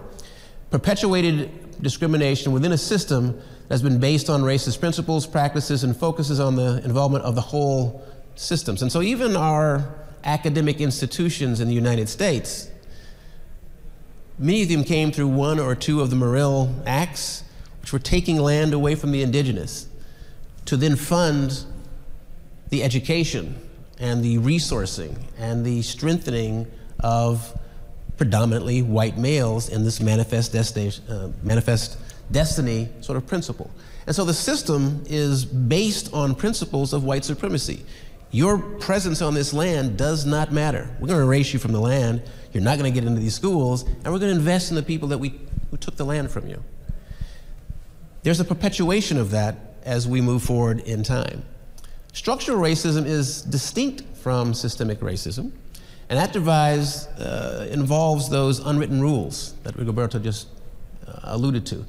There are cultures, there are things that say, hey, when you go to an APS, you don't wear a three piece suit, because everybody's going to look at you a little bit strange. So you don't do it, even though there's no rule that says you don't do that. In the same way, you might walk into a room and nobody looks at you at all, or they look at you a little bit strange and don't talk to you. And the messaging is, even though it's not written in the code of conduct, you don't belong here. You shouldn't be here. There's no real space for you after you leave here. Those are structural. That's one example of structural. But they get reflected in a lot of these advantages, a cumulative advantage, which is also cumulative disadvantage for the other group. But they play out in poverty, in death rates from uh, COVID, which taught us a number of things, uh, in lifestyles and life expectancy, etc. Institutional racism are those policies and practices. Now you institutionalize things. Now you make a code. You install the GRE. All right? That's institutional races. So these are distinct things. They don't necessarily decouple, but they are distinct and they play out in different ways. And they will, in fact, explain some of what uh, the statistics that I'm going to show shortly. And so the paper looked at a particular organization, the National Science Foundation, and it explored public data. Um, and it explored how that public data is playing out against perceptions. If you surveyed faculty and uh, against perceptions of the model minority myths, against perceptions of diversity investments, etc. But all organizations um, can have some structural inequities. They don't have to be racialized. They can be based on ability disability. Uh, they can be based on language discrimination uh, or accent. But you have several types. Um, I point, I'll read the several types, but not the other font. Just compositional diversity, which is what we typically fo- focus on. Structural diversity, which has to do with these academic hierarchies. Uh, pedagogical approaches, epistemical approaches, curriculum diversity, perceptions of belonging, equity, justice. You know, what's our different understandings of those values? Physical structures. If you walk onto a campus and there's a Confederate, you know, hero who's proudly perched in the middle of campus, how does that make you feel if you are great great grandson of slaves or the great great grandson of illegitimate rape of your great great great grandmother. How does that make you feel? Do you belong? But if we don't think about those things, those just just traumas that we let pass. And it's okay because we, no one talks about it and it's let pass. And I say that not to trigger anyone, that's my story. Um, but it is something that I think about sometimes when I walk on some of our campuses. And legacies of exclusion, which I just uh, alluded to a little bit, but where did the land who was on the land before? What's the history of reparations of that land? How is the university honoring the people who lived on that land and still live in the vicinity of that land? And are they, be, you know, being given any recognition of honor or justice? So I'll, I'll pause for a second and I show this picture and ask this question Is diversity the goal? And as you look at the picture, and if you just thought about visual diversity, this is a diverse picture. Got at least white and black people together on the bus. If I was only measuring diversity, I could check my box and keep going. But you're probably looking at this picture and you say, oh, it's black and white, and you're, and it came from Library of Congress uh, archives. I'm sorry I didn't put that on there. Um, this is a picture of a segregated bus. In addition to it being diverse, it's also showing what power and how power plays out, even if you value diversity. Diversity is just a metric, not a goal. It's a partial metric of our progress towards the aspirational goals of equity and inclusion. And if we do it right, justice. But diversity in and of itself can be meaningless the way that you include people can be harmful and traumatizing. And in fact, uh, a good friend of mine said, This is not even inclusive. So I used to say, Is this diverse and inclusive? Because a person on a wheelchair couldn't get on this bus. They wouldn't be allowed to get on this bus. And so we have to think about what are our goals what are our values, and make sure that the words that we use to characterize our goals and values and the metrics that we use to measure how we get to those aspirational goals are the correct ones. And one of my points is diversity is, is not one, it's been co opted. And there were some good reasons to think about it in a certain way, but once you begin to make some compromises on the language that you use, you compromise the goals that you're trying to achieve. And you set yourself behind. So, I'm going to talk some numbers pretty soon, but I want to again thank Christine and Sara, uh, who were co founders of Asian American Pacific Islanders in Geosciences. Um, we're at a, a virtual gathering at a meeting, and we're commiserating on an open secret among Asian Americans and Pacific Islanders about NSF. As it turns out, there are parallel conversations that very same type that happened at NOBCChE when I go to NOBCChE, that happened at the National Society of Black Physicists when I go to those meetings, that happened at AGUs, happened at all the meetings. Um, actually, it's also the National Society of Hispanic Physicists, parallel conversations that mirrored this. Um, and so they were having this in 2020, uh, fall 2020. Actually, in summer 2020, I started a, uh, a, movement called No Time for Silence. Several different um, groups came together to articulate um, programming and activities that would could move the scientific communities towards equity. Um, one of my one of their colleagues, Aradhna Tripati, said, "Hey, you should talk to Vernon." And so, from that conversation, they came and talked to me, and I said, "Yeah, we've been talking about that for a while too. What are you doing about it?" "Oh, we're writing this paper. You want to come along?" "Yeah." And we attached a couple other folks, and that's how the paper um, sort of came together. I was actually looking uh, at similar data from a geosciences perspective, but we said let's just do it across STEM. So our data sources, publicly debatable uh, data reports from NSF. We also use some NCSES data to get at um, sort of PhD production and postdocs and where people were. We looked at um, this time period from 1996, roughly between 1990 to 2020, uh, depending on the data that was available. So there were some data limitations, um, and that has to do with uh, the way that data is collected and also the voluntary nature of some of the data that NSF collects. Um, and I should uh, take a moment here to put in a disclaimer, which I should have done at the start.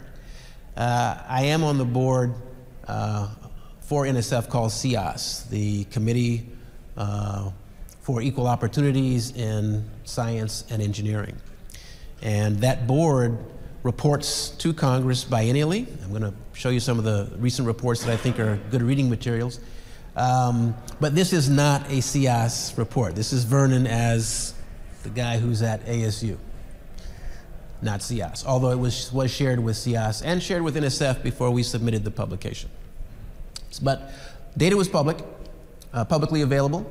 And so we looked at a number of trends in as many ways as we could to try to understand what funding cycles have been like as diversity, equity, and inclusion has become more and more a common language, has been more and more of a focus, more and more efforts have gone into that.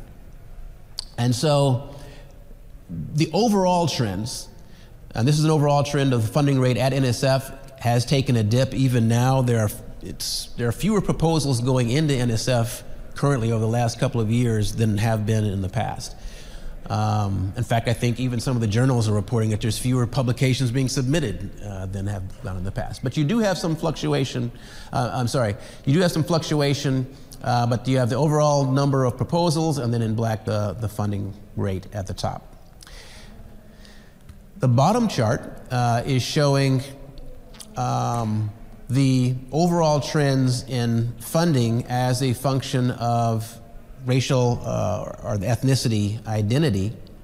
The zero line is the average. And so all of the differences that you see, whether it's uh, among the groups indicated by the circles with the line, large filled in circles with the line, or the smaller bubbles, um, those are relative to this average funding rate at NSF um, which is somewhere between 20 and uh, 30%. I have it on a, another slide.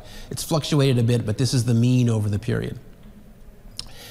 The consistent trend that we find, uh, and I also have data for MPS as well, proposals by white PIs consistently funded uh, at above overall rates and higher than proposals by most groups, and it's increasing with time. So, despite our diversity, equity, inclusion efforts, you're building a cumulative advantage over time at the agency that is one of the agencies, at least, that's supposed to set this standard of equity and broadening participation. And so, another way of characterizing that is to look at sort of surplus awards and deficit awards. And this, again, our assumption is that intellectual ability is not racialized, it's out there wherever you can find it. And if that's the case, what it should mean is that these scholars who are submitting proposals regardless of race, since that's not supposed to be an evaluation metric or criteria, should be funded at the same rates. And so we plotted these box plots where each box represents 10 proposals, and that's just a graphic of what it might lead up to. Colored boxes, funded proposals, and then the black outline, uh, this is the 2019 funding rate, about 27%. And so if you took all of the proposals by white PIs, uh, who identified as white, um, then you have a sort of a surplus of awards relative to this funding rate.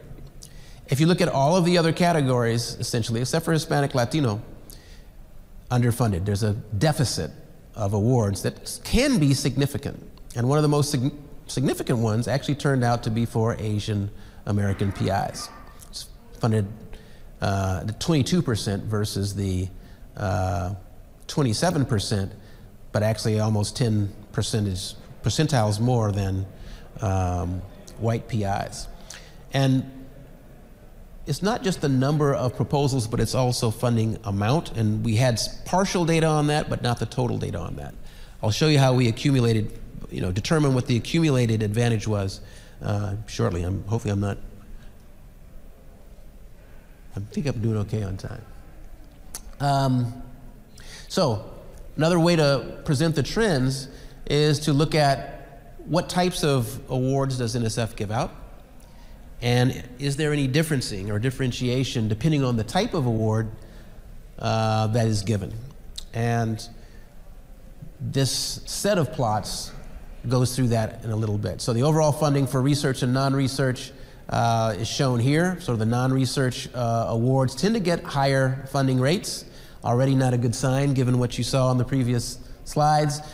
Total number of proposals uh, versus awards up here and then the racialized data. So the meat of it, we're looking at these bottom plots and looking at the trend lines, um, you can sort of see that, again, no matter what type of funding it is, there's a surplus of awards if you are a white PI, and a deficit of awards, although it can be closer to the norming or the zero line if you're African American. Um, you know, somewhat better if you're uh, Hispanic Latino, but varies quite a bit year by year, and pretty poor for Asian American, Asian Pacific Islander. And we, you know, plotted, plotted this as a proportion of awards by the group to say is if a particular group is submitting primarily training awards versus research awards, does it make a significant difference in the rate of funding? Again, um, it tends to be uh, pretty poor.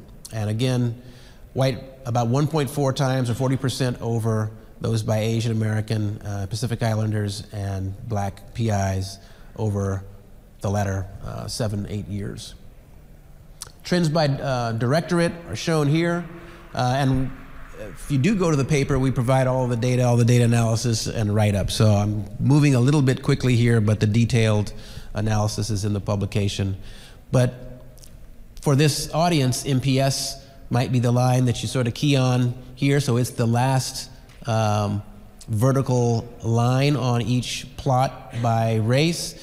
Um, and the overall trend is borne out across all directorates. So it's borne out across all directorates. It doesn't matter if it's research or non research. There's a cumulative multi year advantage if you are white, and a cumulative disadvantage correspondingly if you are a person of color, a PI of color. Um, blowing up math and uh, physical sciences by research awards. This is showing, again, total number of proposals, total number of awards as you move across, and then just the racialized uh, sort of plots uh, down below. There are some challenges in the number of Native Hawaiian Pacific Islander uh, wards. We were in a small N sort of variable there, and so sometimes you have data dropout, a lot of data dropouts actually for um, Alaska Natives, um, American Indians, Alaska Natives, um, Native Hawaiians, and Pacific Islanders. Very difficult. Um, but these are the numbers that were available based on the stats. Again, the trends stay consistent regardless of the, of the end value. One of the questions, I think I don't have it here, was does it depend on what school or what type of school the faculty are at? That was some of the data that we were, was not made available to us. It's a curious question. There's anecdotal data. Certainly, I spent 20 years at Howard University, knew a lot of the proposals that were coming in. But one of the challenges there um, is that your racial distribution in the departments at HBCUs it's not 100% African American in the physics department or math or chemistry, et cetera. And so, what's the variability? It's a study that we hope to be able to do, but there's there's a you must disaggregate data in a way that you can answer the question that you're really going for. The data is not currently available, or not in the form that's currently available to do that. But a good question, and if we have a time for discussion, we can return to that.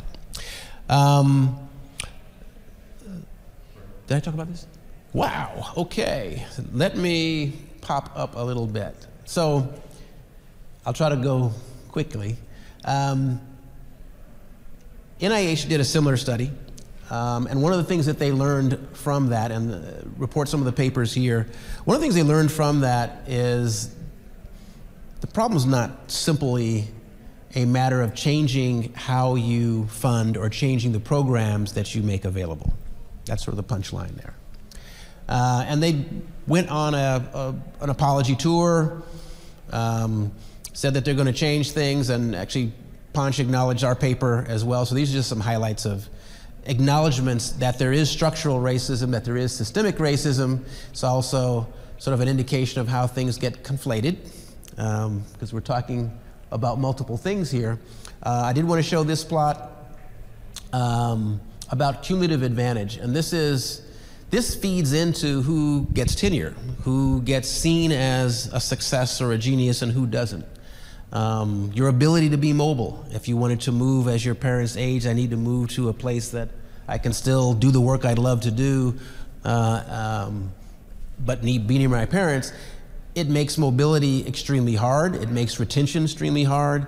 Um, it makes being in the sort of presence of high advantage, high disadvantage, and saying, is this worth my time difficult? And so this affects attrition as well.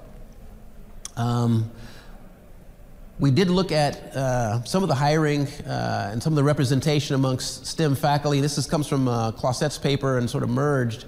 But a lot of the progress that's being made, even in the gender gains and in the faculty and STEM faculty, is coming from retirements of older white men leaving more than is coming from the hiring profiles. Um, and so, again, it, it sort of underscores uh, some things that Rigoberto said is we've got to be much more intentional. Um, this is just, uh, again, a chart that you saw a little bit more of. I'm going to move a little bit faster, uh, so I want to get to some punchlines it's, what's interesting about the way that NSF collects data is that you do not have to report on race.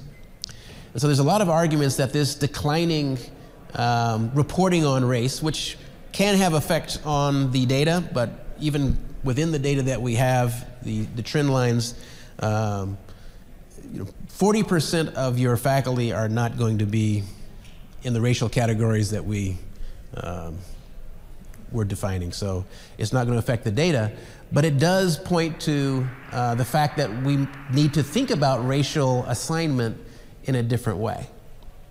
Uh, and OMB is about to have a town hall on racial classification and how we might get to data that we could then do intersectional analysis on in a much easier way. Um, we did look at reviews. I'll, I'll just say we, we looked at reviews um, by racial category and found some interesting things. And if someone wants to ask a question, I'll go into that. But key observations across all directorates, proposals by white PIs funded at, uh, at above average rates, regardless of proposal type. And the greatest disparity was for Asian Americans and African American PIs for research proposals. Um, disaggregation critical. Um, there's a lot of trends that are masked by the way that we collect data uh, and we hope that we can urge NSF to collect data a little bit differently. but it will add critical context to look at things like gender stage, institution, career stage, etc. Um, huge rich get richer effect. Um, and the study's not about individual racial bias, although, as Rigoberto said, if you empower program officers and hold them accountable for equity measures, you could see a change in this very rapidly. And if you looked at GEO, there were some programs in GEO that were at the line or above for some of the categories, and that's because uh, an equity audit has been done. Recommendations for Pathways for Change, a couple of great reports. I saw Gilda at, I think, uh, Rigoberto's uh, conference as a, as a keynote speaker.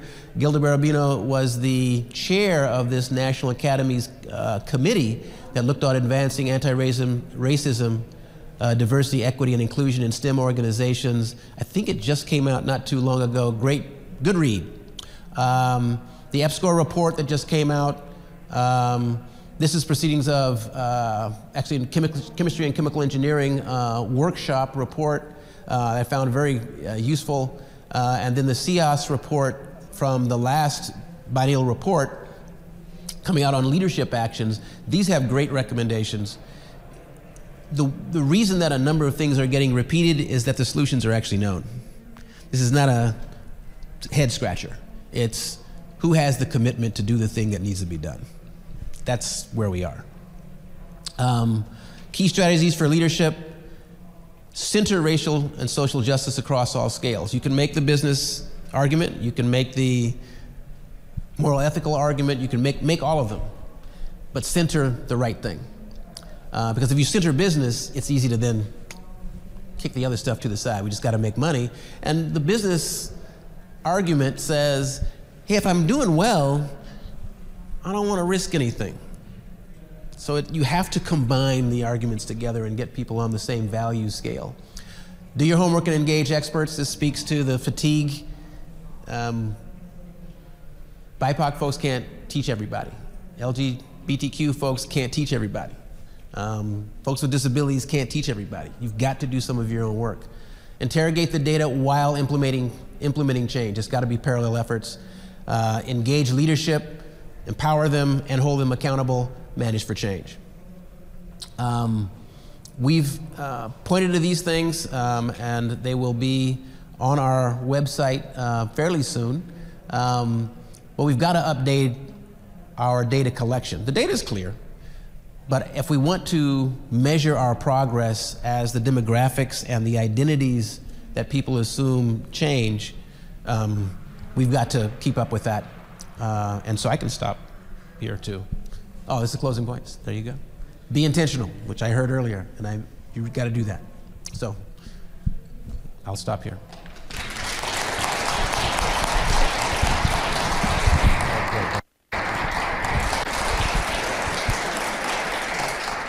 So we have time for one quick question while I switch over the. Um, can you shuttle the oh, mic? I feel like Phil Donahue. Where are you? Where are you? Who's question? Uh, thank you. Nice talk. But uh, it's my understanding that there's additional variables that have to be taken into account with the heterogeneity in the career stage and the directorate, and that when you correct for that in this NSF study, it can explain essentially all of the data or at least a significant part, and the effect has to be real. I mean, so definitely there are other variables that need to be included, need to be uh, corrected. Uh, many of those were not uh, available. It, it.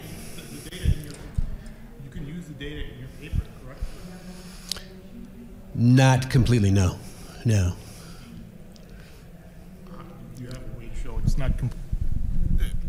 there are some calculations that show you can explain a significant. I mean there are some assumptions, so it's, it's not clear all of it could be explained, but at least some of it could be explained, which would be a significant number, though. It's not a small correction. Right, so that's where I agree with you. If you take a model and you say, I want to tune away the differentials, you can do that, yes. But you have to make assumptions that, in fact, are racialized. Yep. Well, we can talk. We can definitely talk afterwards right? Because you can always take a model and tune out differences. That's, that's the beauty of models. We, Well, the assumptions are tuning. Yes. Sorry, we got we got to cut off the discussion and get to the next talk, but people can talk after if there's time. Sorry about that. Anyway, moving on to our next speaker, Mary James from Reed College is going to talk about the AIP Team Up project.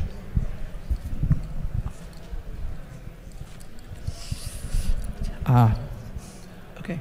Thank you so much, Bo. Um, so, uh, this is really, this is kind of um, a demonstration talk. That is, um, I'm going to try to do faster for you what I've done to talk about the Team Up project um, at Colloquium for physics departments across the country in particular. Um, I just want to say a few words. First of all, only accept invitations if it is the general weekly colloquium. So not, I don't want to talk to the diversity and inclusion committee. That's, that's not going to further um, this work. And I'm talking to physicists. And when I talk to non-physicists about talking to physicists, I say, well, the, the, you know, the North Star, the grand thing is to change the culture of physics. But physicists are a particularly um, challenging audience in that regard because one of the myths of physics is that physics does not have a culture. So we, we and so it's very important to me, as Lynnell was saying earlier, um, I'm trying, I'm not trying to speak to the choir when I give these talks. I'm trying to move the middle a little bit more toward this being on their radar, something that they think about as part of their professional uh, obligations. Okay, so that's the spirit of this talk. So we begin. So, how physicists approach challenging problems. And here I'm inspired by uh, Eric Cornell and Carl Wieman's 2001 Nobel acceptance speech, which, if you haven't read it, is a thing of beauty. And they basically talk about um, their, their process in creating the first um, Bose-Einstein condensate, which was a remarkable achievement. Einstein had um, predicted this 70 years before it was able to be realized experimentally. So, what did they do? So, first, they identified the goal, which was to make a Bose Einstein condensate. Two, they, or they do not, if you're trying to do this, do not blame the atoms for not organizing themselves into a Bose Einstein condensate under whatever condition, conditions feel most natural to the experimenter. That's a deficit model of the atoms. Okay. Understand that it is the experimenter's job to create the environment necessary for the atom's success. Four, use data, not stories about what you think is happening, to guide you and gauge your prog progress and next steps. So they were constantly measuring the temperature and density of the rubidium gas. They weren't guessing the temperature and density of the rubidium gas. Five, be resourceful, imaginative, and tenacious in achieving the goal. Learn from the successes and setbacks of others pursuing similar goals. They were constantly talking to all the other groups that were also, there were a number of them across the world pursuing this goal and what, what was happening. Six, use every tool at your disposal to build the environment you need for success. Then invent some more tools.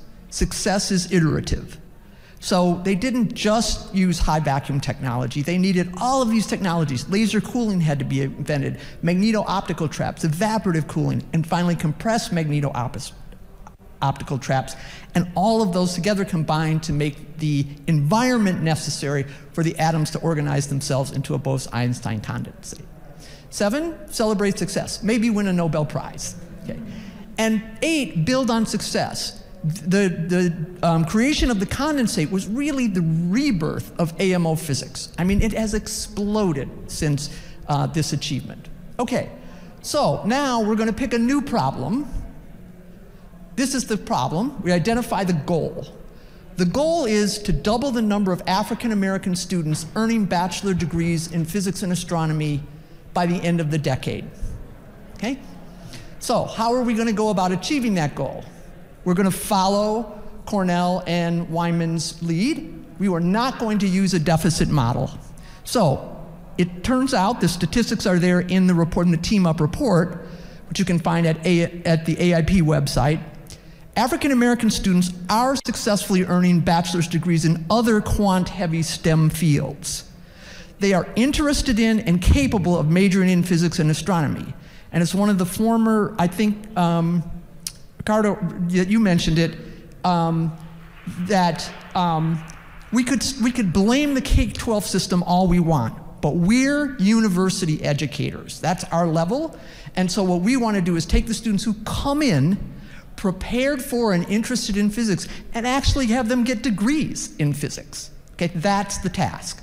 Okay, so we need to create the environment for success. For undergraduates, their experience in the home department is paramount in persisting and thriving in the major and in college. That is what physics is to them, right? So it's the courses they take, the interactions with faculty, staff, and peers, physics related work opportunities, and their ability or inability to have social integration into that environment. Okay. So, four, use data. So, this is a really hard thing for physicists because we are really comfortable with quantitative data and we are really uncomfortable with qualitative data. But the student experience is, is data, it's real data, it's just qualitative data. But there are people on our campuses who know how to who, who know how to take and analyze and interpret qualitative data. They're called social scientists. And the best thing we did in Team Up was have a number of them on the task force. You can learn a lot from them. And they actually want to talk to you. Okay. So, what did Team Up learn from taking a lot of data from students, current students? It was amazing the number of times the task force members themselves said, Oh, when I was a student X and Y, 20, 30 years ago. It's like, no, no, no, no. We want to know what's happening with our students today. Okay? So, what did Team Up learn from the students? There are four essential factors to foster the persistence and success of African American undergraduates. One, belonging. Students must develop a, song, a, strong sense of belonging, defined as an individual's feeling of being a welcomed and contributing member of the department and larger physics community. They have to develop a sense of a physics identity, that is, that they're perceived both by peers and more senior members of the discipline as future physicists and astronomers. Academic support. They need effective classroom teaching, auxiliary support for classroom teaching, advising, and mentoring. All delivered from a perspective that centers the student's capability and strengths in approaching their challenges rather than defining them in terms of their challenges. Finally, personal support, which involves acknowledging and celebrating the whole student, including their interests and concerns beyond physics. That is, their commitments to family, to community, having a sense of purpose beyond attaining formal knowledge, financial stressors, physical, mental health, and wellness, and addressing challenges by helping them use resources effectively and increase self advocacy. There was a, a, quote from one of the students who was in one of the um, uh, focus groups at the National Conference of Black Physicists, where we ran a number of focus groups. And they said, When I walk into the door of the physics building, I feel like I have to hide everything else about me other than my interest in physics. And that to bring anything else across the threshold is to be seen as not serious about physics. Okay.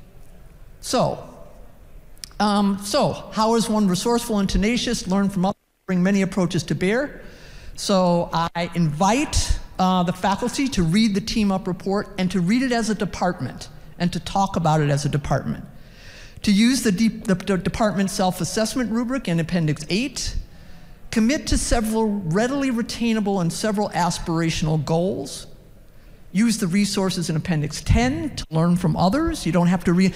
One of the things I always say at Reed College is the great thing about being kind of behind is that you don't have to invent everything. Lots of people have done lots of things, okay?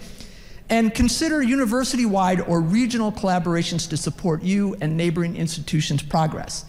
Just like learning from the chemists, finding out what other people are doing. If you're at a big university in other disciplines, if you're at a smaller college like I am, maybe you want a regional um, collaboration.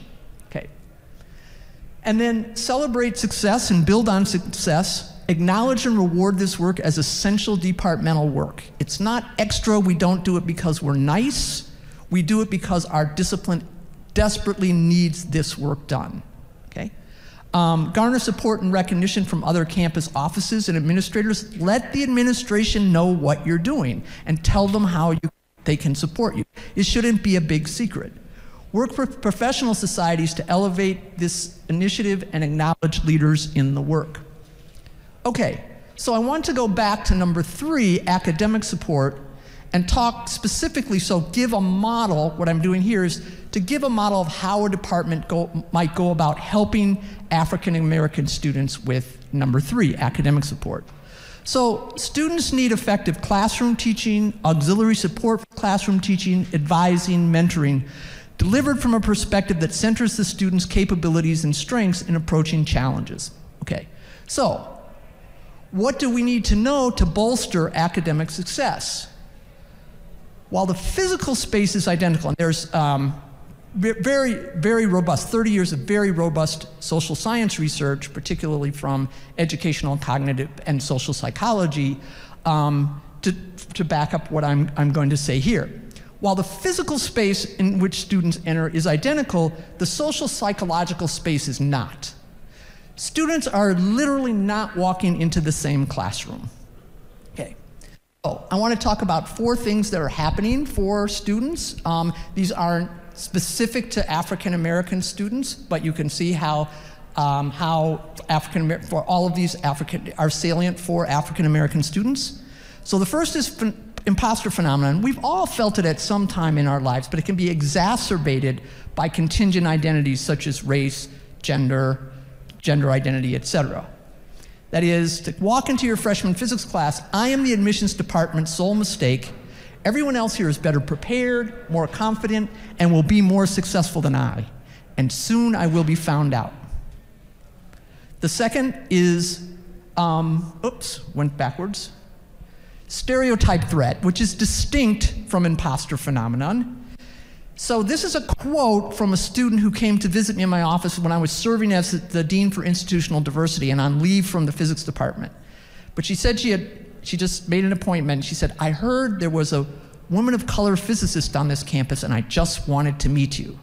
So I said, Oh, come in. She was a freshman. Oh, come in, come in. Tell me, tell me about your class. And at one point, she was talking about being in a discussion session the week before. And she said this I am a woman of color and my two workshop partners are white men. So they go up to the board and they work on a problem together. But one person's got to hold the chalk, right? I was at the board working on the problem and they were behind me watching. All of a sudden, all I could think about was how if I messed up, these white men would think women of color can't do physics. I know I shouldn't have been thinking about that, but I couldn't help it. So this is Claude Steele did the um, foundational work in this. He wrote a wonderful book called Whistling Vivaldi, which I recommend to all of you. Um, and it's basically that we all know the, the negative stereotypes about our group.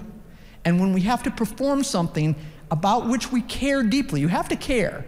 So, for instance, academics aren't good athletes, so I go out on the tennis court and I prove that. I'm a terrible tennis player, but I don't care so I don't stuff her stereotype threat. But if she cared about being a good physics student, and therefore that's when it has, and so it completely um, takes over her cognitive abilities just when she needs them to solve a physics problem. Okay? Belongingness uncertainty, distinct from both imposter syndrome and stereotype threat. Belongingness uncertainty said, maybe I'm really confident in my abilities, so I don't have imposter phenomenon. And maybe I'm not going to worry about stereotype threat because I'm that confident. But do I belong here? Do I want to be here? So there's the, the most famous study is on women, a Stanford study on women considering a computer science major. They had all done very well in the introductory computer science course, receiving an A or A minus, and they knew it. They already had their grades. And they were asked to come into the computer science lounge and take a brief questionnaire on whether they were considering a computer science major. There were two lounges. Half of the participants went into a neutrally decorated um, uh, room. It had, you know, like a waterfall or something on the wall. And the other half of the women went into a room that was completely decorated with gamer paraphernalia. And if you know anything about gamer paraphernalia, it's kind of a 15 year old boy's wet dream, is what all that stuff looks like. So I'm sorry, that was a little crude, but that's really what that stuff looks like. Okay, so, so there was a statistically significant difference in the responses of the women of whether they were considering the major just based on which room they took that study in. So the physical environment itself, what the walls were telling them about who does computer science and who doesn't, had a profound effect on whether they were considering what they were going to do for the next four years. Okay. And then finally, a fixed versus growth mindset. And this is work um, popularized at least by, or um, uh, done by Carol Dweck, also at Stanford in the psychology department. And basically, in a fixed mindset, when you can have fixed and growth mindsets about different aspects of, of your life and your personality, et cetera, for our purposes, in a fixed mindset, intelligence is immutable. So I only have so much, and soon I will be expelled. And I've been in the smart bin all my life, but now I'm in college, and soon I will be expelled from the smart bin and thrown into the not smart bin. Okay which makes education, it's just running a gauntlet, right? That's all you're doing all the time. Okay, as opposed to a growth mindset in which one believes that intellectual acumen is mutable through practice, productive discomfort, and mastery. Okay? All right, so I love this. This was a 2015 paper, and sorry it cut off the, the author's names, but I can find it for anybody who wants it pretty fast. Anyway, this is the, this, what it's called. Expect, it was a printed in Science, and Expectations of Brilliance is the beginning of the title, so you could look it up that way. So, what is this? So, this is, this is field specific ability beliefs. That is, the practitioners of this field, it's, it's what they believe, it's not based on anything other than their beliefs, right?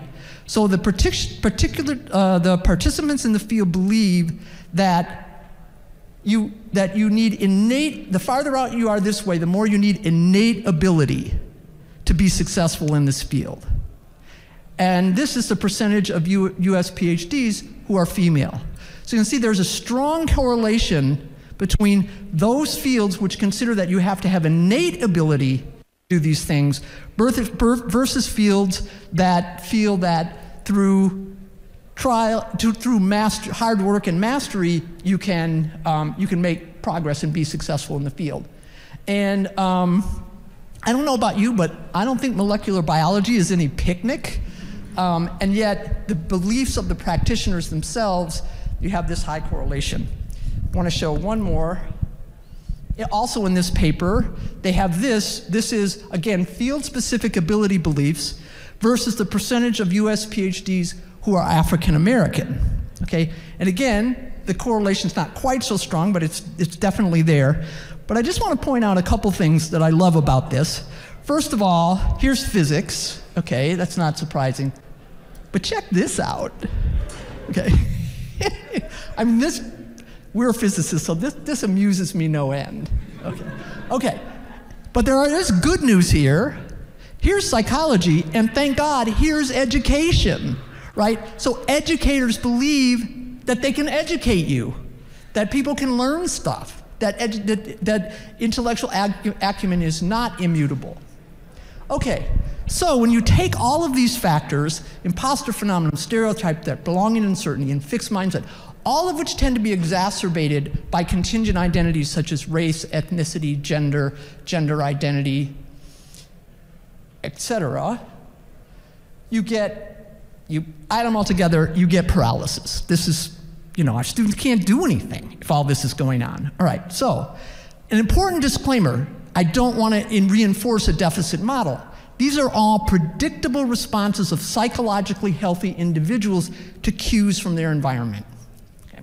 So, and then these factors are exacerbated by what's known in the field as the hidden curriculum, which is knowledge about norms and expectations in the college environment that are unspoken and often taught informally by parents and others in high socioeconomic communities and well resourced high schools.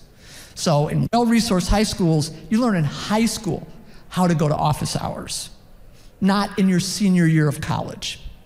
Okay.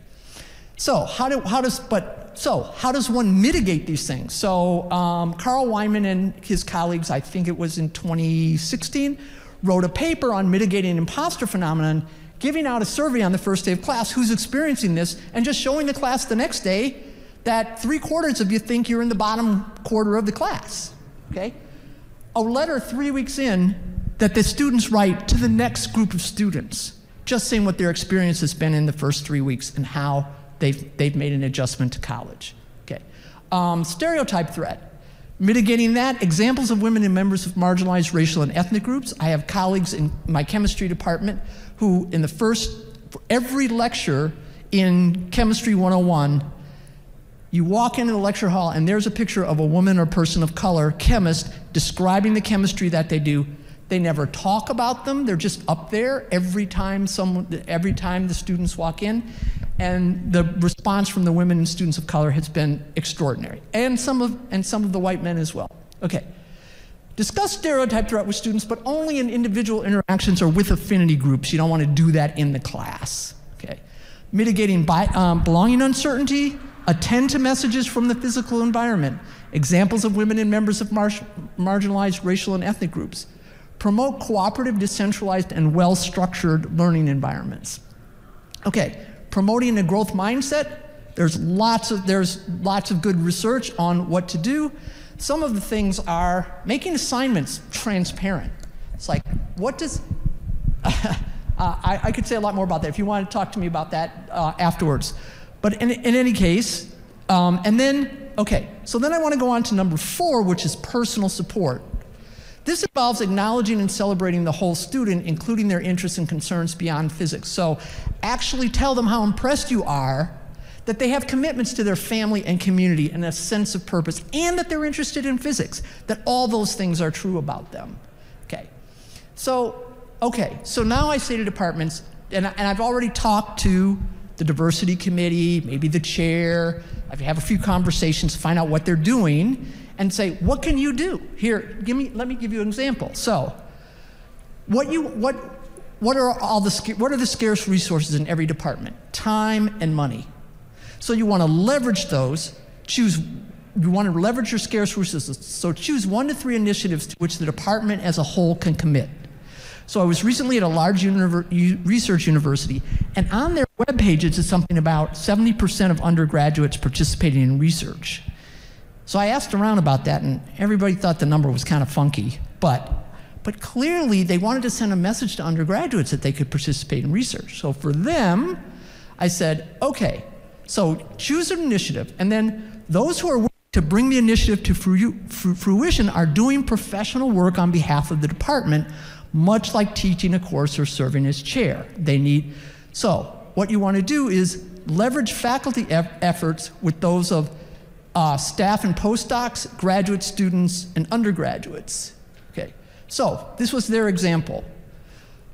Research shows that involvement in research early in an undergraduate's tenure is the most effective way to cre create persistence in the major. Okay, so if you have the luxury of being at a large research institution, this is a great way to go. Why? It increases a sense of belonging. You're in a lab, you're in a real lab. It increases a sense of physics identity. It's an effective avenue for mentoring, and it can address financial stressors if you pay the students for the research. So, how does one launch a department wide initiative? Well, the goal would be to provide every student from an underrepresented, and I will use your student of color from now on, yep, uh, to provide every student from an underrepresented um, community of color, African American, Hispanic, Native American, with a research experience in the first year or the summer after their first year. Okay? That's the goal. So you're a big research university. What commitments do individual faculty need to make? Well, each faculty member commits to sponsoring at least one underrepresented student of color undergrad in his or her research group. Okay? What is the department? What are the department commitments? Well, grad students, postdocs, and other lab personnel are, are encouraged to mentor these students as part of their professional responsibilities, not in addition to their res professional responsibilities. So all those little jobs you have to, that have to take place for a lab to work, this is one of them, and then they don't do some other ones of them. Okay, keeping up the website or whatever it is. Put this on the list. Okay, so then what are the department commit commitments? They sup the support for the research cohort activities. So what does the cohort, what might this cohort need from the department or university? Maybe summer housing, right? So that's what the department is finding that, uh, finding those university resources. Um, sponsoring poster sessions for the students after they do the, the social activities for the students. Okay, so then what are the department or university level commitments? The mentors, those are the people in the labs directly supervising them, they receive sub- substantive training and support in culturally responsive mentoring. Okay? Because, again, most of them are not going to share the identities of the people that, uh, with whom they're working. And that the students receive financial compensation for their research involvement. Because one of the biggest things African American students said to us was financial stresses are a major factor in whether or not I can complete my education. So if we're paying them to do physics research rather than them having to work at 7 Eleven, this is a win win. Okay. So then the students need skills, right? So what do they need? They need to know where and how do I look on campus for a research internship? Where, how do I look off campus? Even find them. What is a research internship and how when I find one? How do I find funding opportunities? These big research universities, they got all kinds of pockets of money for, to fund undergraduate research. How do they find them? How do I find funding for off campus? How do I write a resume? At Reed College, we had, we had a website from the, um, it's called Life Beyond Reed, career services, interns, all that, and it said, here is a list of all of these research internships that you can do this summer. And then it said, download your resume here. I called him up. I said, no, no. it's like, if you want help writing a resume, click here. Okay? So, again, those are the barriers where a kid says, I don't have a resume. So, obviously, I don't even belong on this web page. Okay. So, how do I find? How do I write a resume? How do I write a personal statement? Okay. So then the question is who does what? So, who does the coaching on finding and funding in, in, internships? That might be faculty or graduate student mentors. Selection of research mentors, that's going to be the research group faculty. So, who in my group would be good at mentoring this student, and how do I give them professional credit for doing so? The training of the research mentors is probably the Campus Center for Teaching and Learning, um, who I hope have people who could talk about culturally responsive mentoring the group events for the research students, setting up the poster session, setting up some social activities. That could be an undergraduate paid position, perhaps somebody who was in the research program the year before. An assessment of the program, really important to assess. Is this working? Is this helping our students uh, persist in the physics major? Would be the department's DEI committee with, the with help from institutional research. Okay. So, um, so that's an example, and then I would give e- I give each institution a couple more examples. Here's you know pick from the menu. Here are a few things you can do given what I know about you. These are things that might be working. So finally, what I ask them to do is always start from a student's strengths. They're interested and capable of majoring in physics. That's a real strength. What are their other strengths, and how can they use their strengths to meet their challenges? Which, by the way, is my parenting philosophy they come out with personalities. You know, so there are two things you can do. Try to instill a moral compass and help them use their strengths to protect their weaknesses. That's the whole job, right? So, communicate your admiration of their strengths, accomplishments, and broader interests and commitments. Communicate your confidence in them to address their challenges productively. It's not hand holding, it's teaching. Okay, so there you go.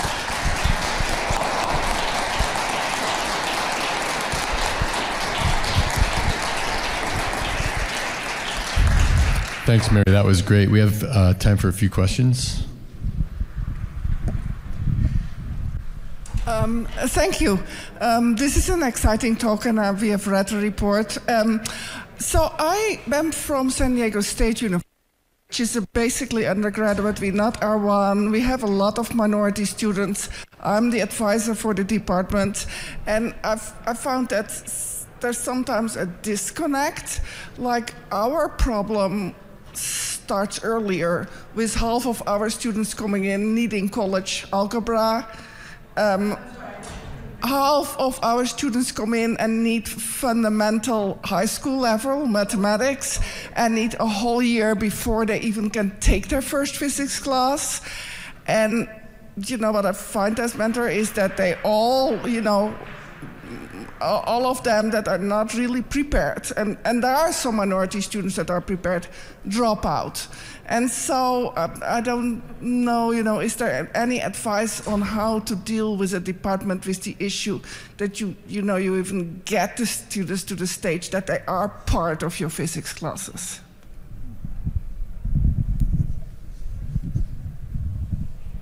So that does require some structural cha- changes. Um, so um, a lot of there's a lot of work on having multiple pathways into the major. So a great thing would be to have students who are interested in physics but need a year of math preparation even before they can start the regular physics curriculum. That there be some courses for them. You might even encourage them to take courses intended for non-majors. The astronomy course, the course on light and color, whatever it is. So those more qualitative courses may be intended as general ed courses, but that can still keep their interest in physics alive while they take the math courses. And then you might also consider what, um, what we call it, Reed a short major. So some students are um, some students are interested in going on to grad school, but some students they may want to do uh, high school teaching. They just they may want to work in the in the tech sector in some way. So do they need three quarters of quantum mechanics? Maybe not to do that. So think about how you could how you could adjust the curriculum so that they could essentially enter the curriculum as sophomores and still graduate on time. Um, so those are those are some suggestions. But certainly identifying students who would be interested in a physics major who need that math background that, that's a really important step. And then giving them some kind of social cohesion to be a group that's, that's moving toward that goal. There's one back here.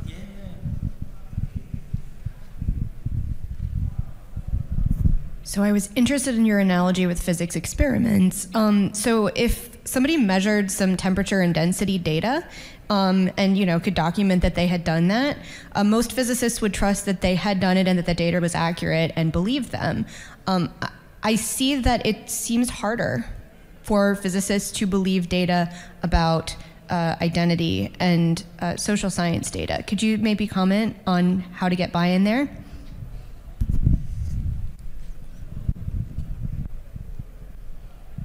So thank you so much for that comment because I forgot to say something really important, which is you need to collect the data for your department, right? And so there, um, somebody who can help you do that is the American Physical Society.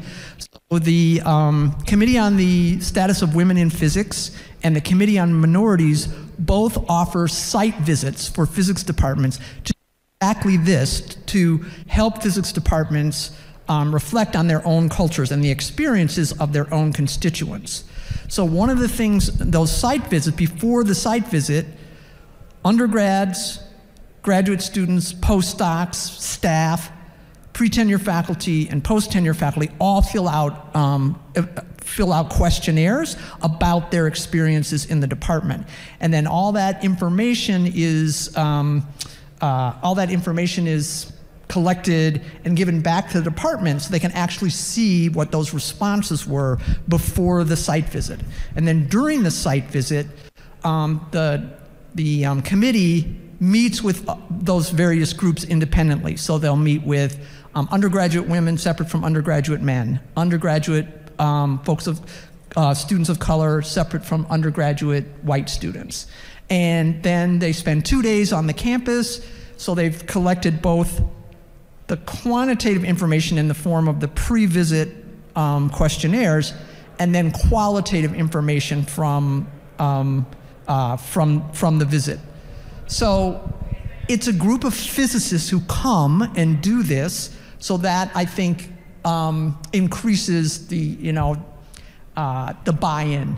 So it's even though actually social sciences visiting would be more effective um, in terms of probably understanding listening more clearly to, to things that are being said. Um, in terms of buy-in, you need physicists to go and do it. I think we have to move on. I'm sorry. we're uh, out of time for this talk. Uh, thank Mary one more time.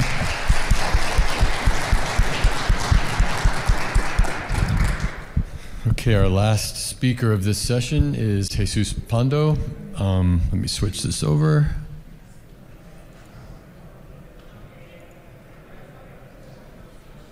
Right. Thank you. Um, so, hi everyone. Uh, my name is uh, Jesus Pando. I'm going to be addressing something perhaps a little or much more narrow in focus. So, we've heard from Lynnell and from Vernon and from uh, Mary Beth uh, um, about sort of global kinds of issues. I'm going to focus uh, in this talk on things that actually happen in the classroom and things that you might be able to do in the classroom as issues arise. I should say that most of my experience has been on more national efforts. I shared the Committee on Minorities. I, I, I did some work on, on, on Team Up uh, with Lynnell. We served on something called um, APS IDEA. And so this is a relatively new uh, area for me, so I'm a little nervous. Plus, um, I was at the Springsteen show in Milwaukee on Tuesday. I'm still tired from that. I don't know how a 72 year old man still does that, but uh, I'm tired from that. Okay, so um, these are the folks that are involved uh, in, in this work. So, Marty Baylor is a co PI at Carleton. Um, Peggy O'Neill, uh, we've heard several times about the importance of social scientists. Peggy O'Neill is a social scientist. She's a co PI with us. Sharon Blackwell Jones is also a social scientist. She's a, a cultural competency uh, specialist. Um, we have an external evaluator, Alexis, uh, and then Karen Walters Conti is uh, Innovation Fund liaison because this work was funded by an APS Innovation Fund. Um, so we received that award in 2021 to carry out um, this work. And so what we're trying to do, well, let me give you the roadmap of what, what I'm going to talk about. Rationale for the program, uh, the personnel, because that's important. Um, the target audience, that's also important. Then I'll describe a little bit uh, about uh, the program results. We have an N of two. We've done this twice. That doesn't bother me. I'm a cosmologist. I have an N of one. Uh, so I, am used to dealing with just one universe. That's okay. Um, and then issues and future plans. Okay. So, rationale. Um, so, um, I don't know if this is going to play or not. But what, what you would have seen here. Oh, it does going to play. Okay. I'm not sure how I do this exactly. Okay. So this is what typically might happen in a classroom. I don't. There's no sound, maybe. No. Okay. What you're seeing here is a group of students being uh, asked to do a, a, a project or a problem, solve a problem. And what you're seeing is something that happens in a typical classroom often, where there are certain EDI effort, uh, EDI issues that are actually happening that are often blind to, to the instructor. So you have, in for example, uh, a, a, woman, somebody who identifies as a woman, being ignored. Um, you have an African American student being very dominant, which is also uh, maybe sometimes unusual or maybe surprising to some folks.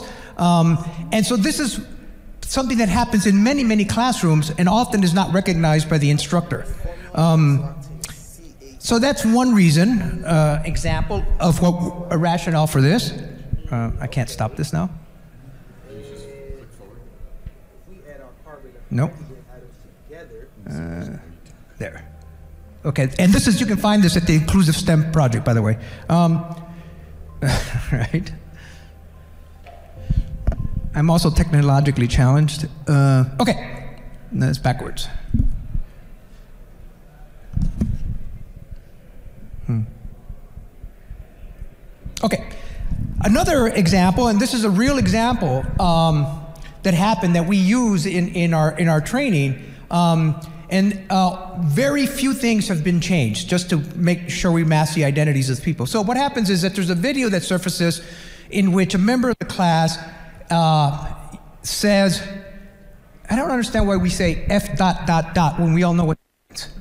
I mean, he says fuck immigrants, that's what he says, right? But we have to put dot dot dot for some reason. But that's what he says, right? Um, and um, the next day, several students, DACA students, raise a concern in class um, that they don't feel comfortable with the student in class, right? So this is happening real time to the instructor in class. Um, the student who posted the, this video uh, uh, apologizes, but it sounds fake to the students that are in the class, and maybe it is, maybe it isn't, we don't know. Um, and the students are, raise an issue that they don't feel secure, they don't accept the apology, the whole class backs down. The instructor actually has to stop the class, okay, and come back the next day. This is a, a real issue that happened. And we use this in, in, in um, as, as we're developing the program. But these are the kinds of issues that we thought there was a reason why there might be a need to have a workshop in which instructors can learn how to handle uh, issues that arise like this in the classroom. Um, and what we noticed, or what we thought, and um, most of this I should say, when I say we, I'm, I'm saying Marty, she did a lot of this work, um, that we realize that there's a growing body of uh, resources available to physics educators about EDI issues. Uh, but that physics educators themselves in the classroom are hesitant to engage in these kinds of uh, uh critical conversations in the classroom. There is, it, it is very um, unusual for a physics instructor to start the first class or to have a learning objective, an EDI learning objective as part of the course, for example, and so forth. Um, there's lots of reasons. They don't have the skills to do this, perhaps. Um, there's uh, a fear of burdening minoritized students, and so as many of us of color know, when there's an issue that arises, people look to us, look to me. When there was a uh, Latino, a Mexican American, Mexican issue occurs. What about those American tourists that got killed in Mexico? I, I, I don't know. They shouldn't have. I don't know. I don't. I don't know why you're asking me that, but I get asked. Um, so there's that fear, perhaps. Um, so what we try to do, and this is the rationale for the program, what we try to do is these resources are out there, and there is uh, physicists in the classrooms that need these skills. So is there a way in which we can bring these two together and, and give a set of, uh, of um, skills, I hate using that word, and you'll see why in a moment, can we build capacity for these physicists to engage in EDI efforts real time in the classroom as these incidents are happening? Okay, so that's the, that's the rationale uh, behind these, uh, this program, what we were trying to do. So it was important from the very beginning for us to think about what the team was going to be like that was going to develop this, this workshop. So uh, Marty and I, Marty is African American uh, female, identifies as female. I'm Mexican American and I identify as male. We have both our own lived experience, right? We have our own lived experience. That doesn't mean we have expertise. Experience and expertise are not the same thing. I have experienced lots of things, people have experienced other things, I don't have expertise. So we realized that we needed expertise in this. And we did. We, from the very beginning, we sought out uh, as a co-PI a social scientist. And it is, uh, I think, been pointed out by several of the speakers, this does not work if you don't include social scientists. They have the expertise to do this kind of work. So um, we we looked at two, two specific skill sets. We found uh, somebody who was uh, skilled in having and holding these critical conversations. I'll talk about what that means a little bit later. And another expert in cultural competency, somebody who had the, the expertise in how you deal with cultural issues. Then together we sort of developed the learning goals of the workshop. Um, using this as a partial guide, then we developed the rubric uh, to evaluate applicants that were going to be this EDI fellows, right? Um, and then um, we send out word through APS uh, announcing this program, and we started soliciting applications to become EDI fellows. Um, and these are our fellows here. Uh, so uh, on the far left is Peggy. She's our social scientist our critical uh, conversation specialist. And then the, the folks in the middle are, are, uh, are EDI fellows, uh, Prasad Venugopal, Kelly Sullivan, Teresa Hurd, uh, Andrew Seredisky, Beatriz Barula Galambindo, uh, Michael Farback in the red shirt, and then Sharon Jones is our cultural competency expert behind him, and then the rest of us. So that's the team that we chose um, uh, through this process. and one of the interesting things is almost all the fellows are from non-research intensive universities. Um, the only fellow that's from a large research intensive university is not on a tenure track. That maybe says something. Um, this is the kind of applicants we got. That turned out to be a good thing, however, because the group that we got is just excellent. All, all the people that we got are excellent. They care about these issues, even though their, their departments are relatively small, to the point that, you know, one or two, uh, one person has, I think, two physics majors in their program, right? So these are relatively small programs. Um, we, however, did not develop any curriculum. We had learning goals, but we not, did, did not develop any curriculum until the fellows had been uh, chosen, and then we co-developed the curriculum together. And um, so this was asking a lot. We've heard several times about you're asking a lot from people. Uh, these, uh, we had monthly meetings uh, in which the curriculum was developed. Uh, we had a two-day workshop at uh, the American Center for Physics down, you know, in in College Park, uh, where we put the finishing touches on the workshop. Um, the fellows were also expected to do monthly reflection centered around the topics that we, so we asked them to think about the process and think about what, what was going through. This was at the suggestion, of course, of the social scientist, because as a physicist, I would have never thought to do that. Um, that's turned out to be extremely valuable. Um, and this is what we could afford to pay. I mean, this is the issue that one is always faced with, right? We, this is a two-year grant, so they're paid for two years, three hour per month about commitment. It's nowhere near that. They've put in a lot more time than that, right? Um, and they get a $2,500 stipend. Okay. So the target audience, we thought this was important too. So this is a pilot. You need to remember this is a pilot. We're trying to work to see how one could develop a workshop like this. So um, it's not meant for all physics educators, this pilot. Um, it's, so who is it meant for? Well, first of all, you have to have a level of awareness. We, we, we don't have the capacity to train you that EDI issues are going on in the classroom. You have to have a level of awareness that that's happening in the classroom. And you have to have a desire to try to deal with it.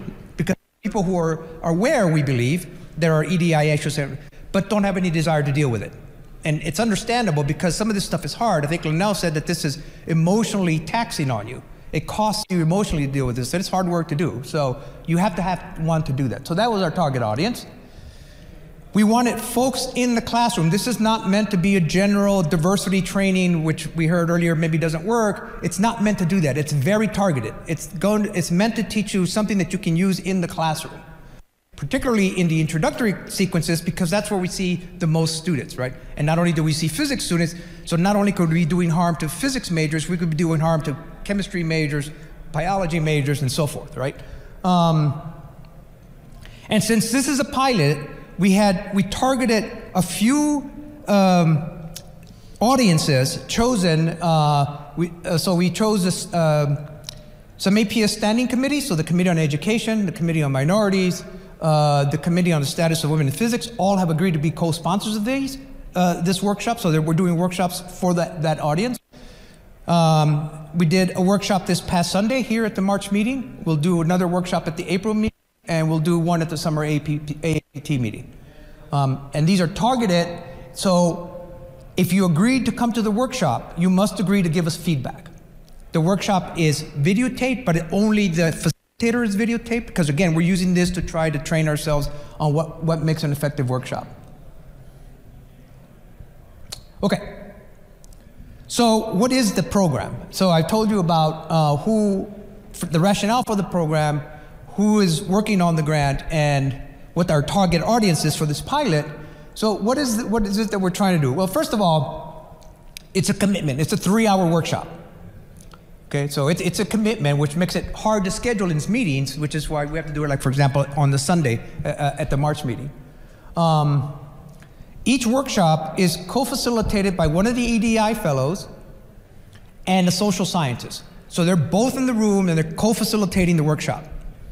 Um, also in the audience is our external evaluator, and then one of the senior, so me and Marty are the senior physicists. Uh, either one of us is in attendance, right? Um, so this, the evaluator is there to see the effectiveness of the workshop and so forth, Marty and I, as having ex- having lived experience of being folks of color going through the physics community, sort of gauge the audience and so forth. And we have sort of a different set that we're analyzing, different criteria that we're looking. So it, the program essentially has four um, pillars on which it rests. First of all, we want to increase the self-awareness of uh, intersecting identities impact the classrooms. And we've heard a lot about here about identities. We actually do a lot more, well, we mentioned identities. Couple that to the power that each identity has. So for example, I, I have multiple identities. I'm Mexican American, I'm male, I'm, and so forth, right? There is a certain power that carries my with, with, my maleness, right? I have a certain power dynamic that comes with that and affects interactions. I have less power when my Mexican American identity is is pronounced or seen, right? So you have all these all these identities, but associated with all those identities, what's important is that they all carry different power structure. Um, once we do that, um, hopefully they become aware that Others have similar kinds of um, characteristics, that they come with intersecting cultural identities, and each of those identities carry some power with them. And those manifest themselves differently in the classroom. And then hopefully at this point, you've built uh, the capacity to now identify EDI tensions when they are happening.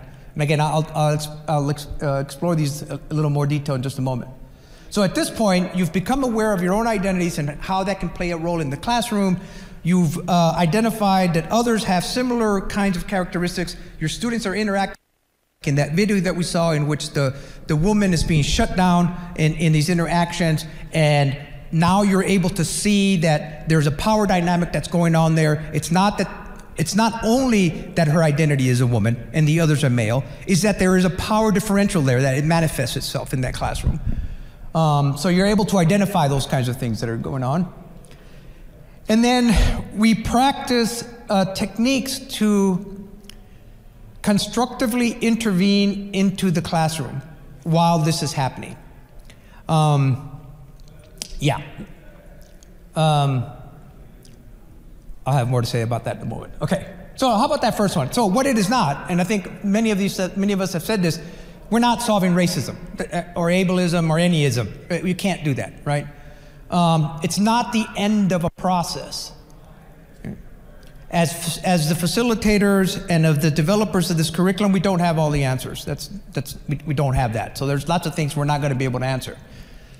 We also are not accepting that where we are is where is the limit of where we could be. Right? I think this was Lynnell's point earlier, right? We don't accept that as a, as a principle. So these are all things that we do not accept as part of the problem, but it is not part of the program. Okay.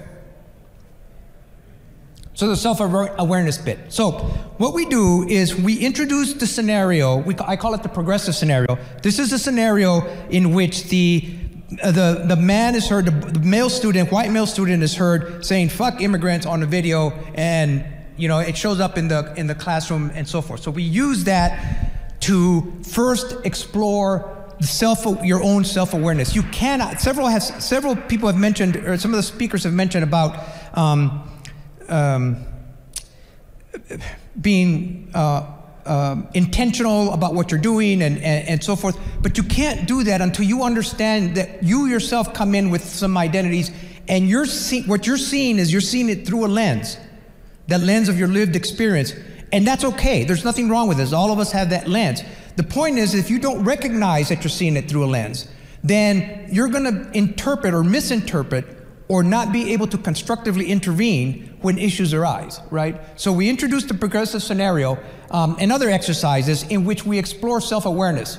We do these things, cultural circles, in which you, you you, you, draw a Venn diagram and you put all your identities in there and you make bigger the ones you think the you have the most power and the ones that have the least power, the most power in a physics context, the most power at home, and so forth. So you can uh, understand these kinds of um, self awareness things. And so, again, so um, I think it was, uh, Mary, you said that physics, it's, it's, it is a myth that physics doesn't have a culture. We, we explore that, that, that physics doesn't have a culture. Um, um, But in fact, it does, right? And that, that culture plays itself, this, this myth of meritocracy, the myth of genius, all of these things play, out, play themselves out in the classroom. These students, I don't know how, they have learned this myth, right? They come in with this, with, with this myth already. The, the lone genius scientist, right? Uh, never mind that CERN papers have thousand authors on it. It's the lone genius scientist that, that does all this stuff, right? And so um, we, we identify that culture. We actively interrogate that culture, ask, ask the participants to interrogate that culture, and then learn, hopefully, um, that there are power dynamics, as I said, associated with these identities. It's not that all of us have identity, different identities. We all know that, right? We all know that all of us have our multiple perspectives. That's not the issue. The issue is that those perspectives or those identities carry with them power that you feel and others perceive that power in you or that lack of power in you in interactions. So we learn that and how those manifest in the classroom. Again, for example, when uh, the woman is shut down in the in the problem uh, solving session that they're having, um, or when um, in the progressive scenario, when uh, the DACA students uh, suddenly feel empowered as a group to, to, to interrupt the class, right? Once, you've, once we've explored that, um, hopefully at this point you are aware that others have uh, intersecting identities. And once again, we use this progressive uh, scenario and um, video and other exercises to, to um, make one aware that others have intersecting identities and that what you're seeing, experiencing, what you're experiencing is not what the student is experiencing, at least completely, right? For once again, in that one video that I showed, um, almost everyone in the, in, who looks at that video the first time will see the woman is being shut down and ignored and so forth. They don't see that the black male student is expressing his dominance because oftentimes black males are shut down. And so this is him expressing that, that dominant. And again, if you, if you are not aware that th- those multiple things are going on, then it's, you're going to interrupt that, that interaction in a way that is going to maybe help one student but cause damage to another. Right? So you have to be aware of, of these, uh, that others have intersecting identities you have to, again, you have to sort you, you externalize what you learned about yourself and put it, uh, understand that others have the same kind of um, um, multiple identities with powers associated with them, um, and that they manifest in the classroom. So I don't know how many of you, but the first time I started doing uh, uh, gr- group work with students, after about a semester, I realized that the women were always doing the note taking, and the men were always doing the the messing with the gizmos and stuff. And I go, wait, no, no. I mean, I didn't realize that the first time. And that was, you know, that is an EDI issue that's going on in the classroom that needs to be interrupted, right? Oop, okay, wrong button. Okay, now hopefully at this point, um,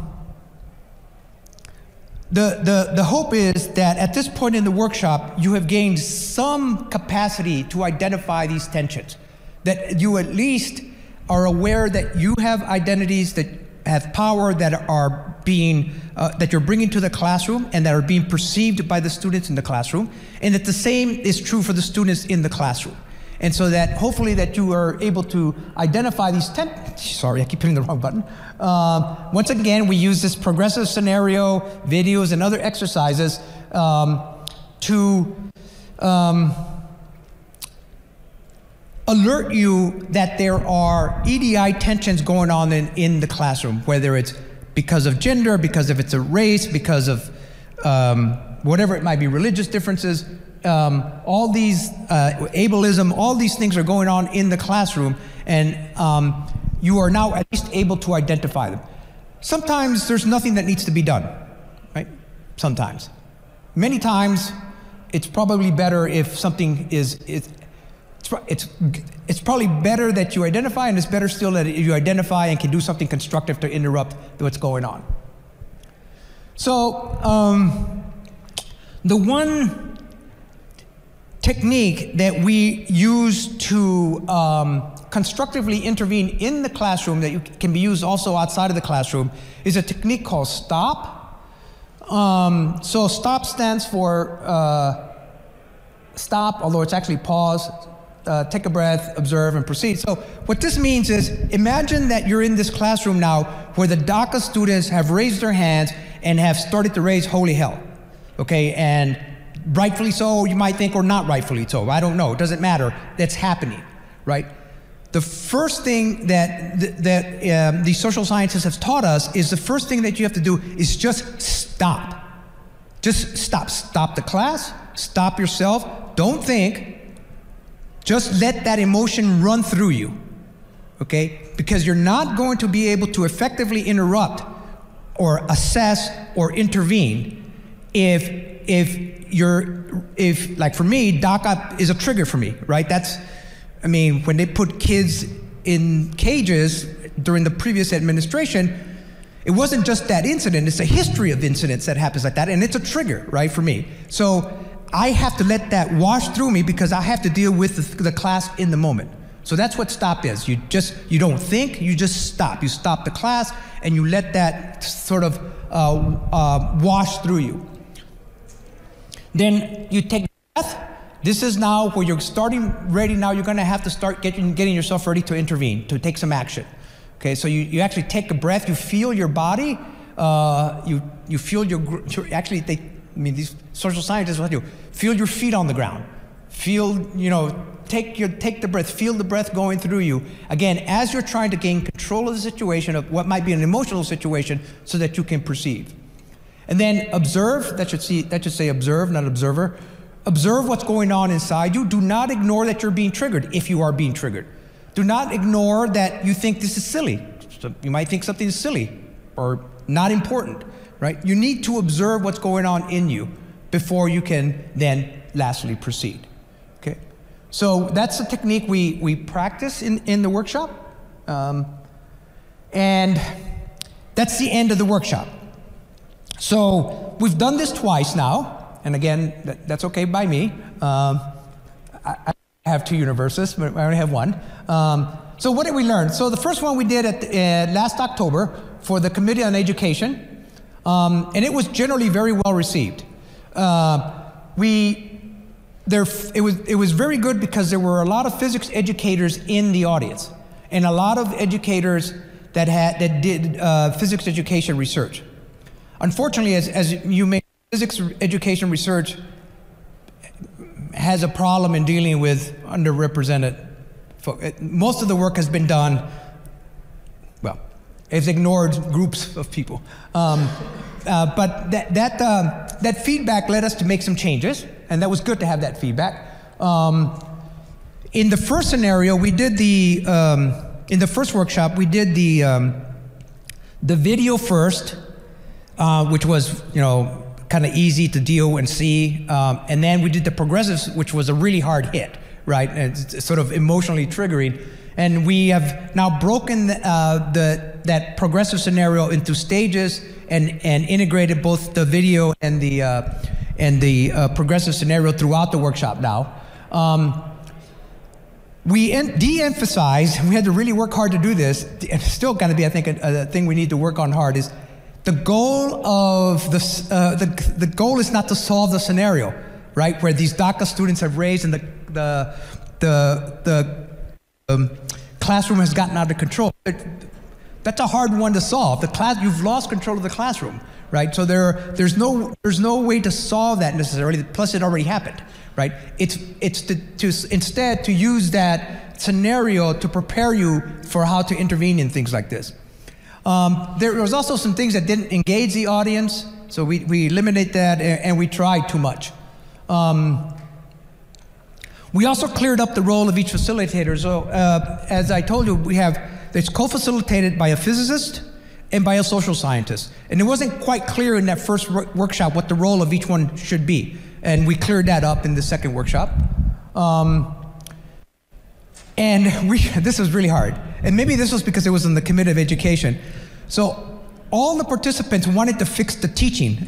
The objective, though, was the teaching, right? The objective was about the interactions that was going on, right? So this is not a workshop on teaching. There are plenty of workshops that do that, right? This is a workshop on how to interrupt EDI issues, and we had really hard time because everyone wanted to move to, well, the teacher did this wrong, the teacher did that wrong, ignoring what was going on in the group interactions, right? So we had to really uh, focus on that, um, make sure we focus on that.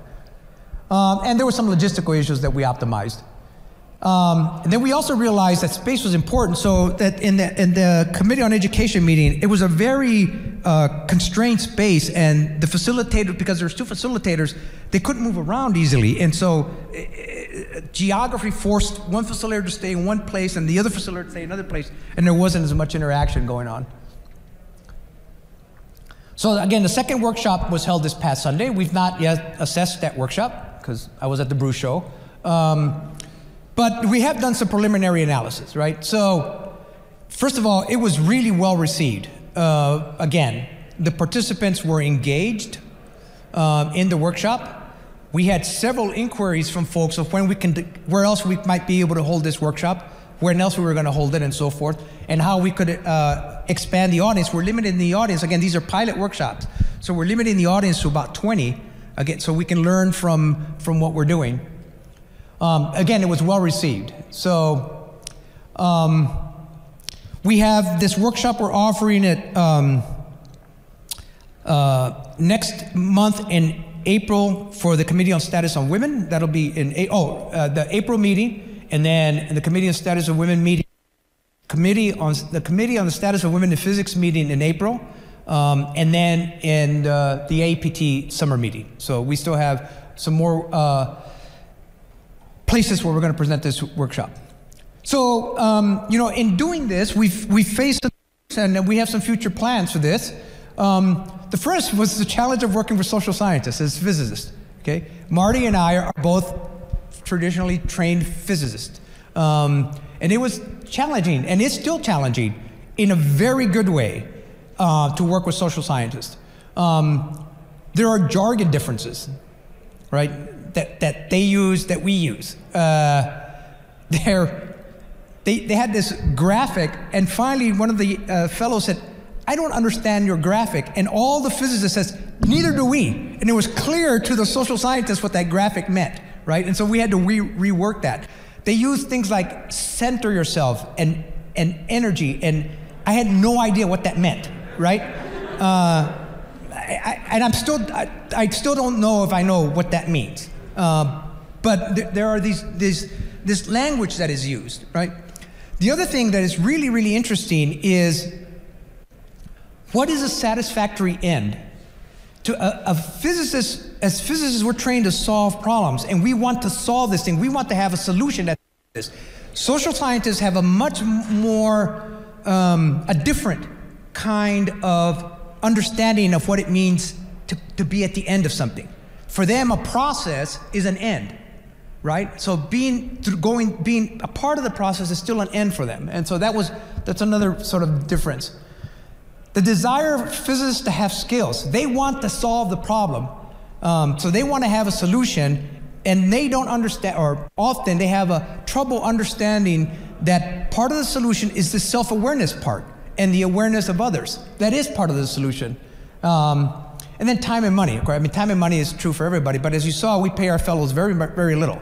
And so um, they, they, these fellows are just like physicists, like us, so they need time to be trained in the social science aspect of, of, of the program. Um, and there are really not enough funds, even though as generous as the APS Innovation Fund is, it's just not enough money uh, to, to do what we need to do. Um, so again, uh, the pilot workshops will let us know if this work is needed. We, we feel like it is, but it'll let us know if it's wanted and if it's possible. I mean, that's what the pilot is for. Um, using the experience that we've learned, you know, we're, we're um, hoping to develop additional cohorts of the next fund, the next phase, we'd have uh, uh, additional cohorts of EDI fellows that would um, spread out. We'd have, again, a curriculum team still consisting of senior physicists and social scientists. That's, that's something that has worked and we know that is necessary. Um, and uh, we need to expand the number of social scientists. So we have these two poor social scientists that were running around the country working all these shops, you know, all these uh, workshops. Um, so we need to expand them. And then um, we're hoping that this knowledge base of physicists and social scientists working together, that we can actually use that and present that to a community as a model of how, how to work with social scientists, how to integrate social scientists into, into a program. Um, okay, so we're in the planning stages, and I think I'm out of time. Thank you.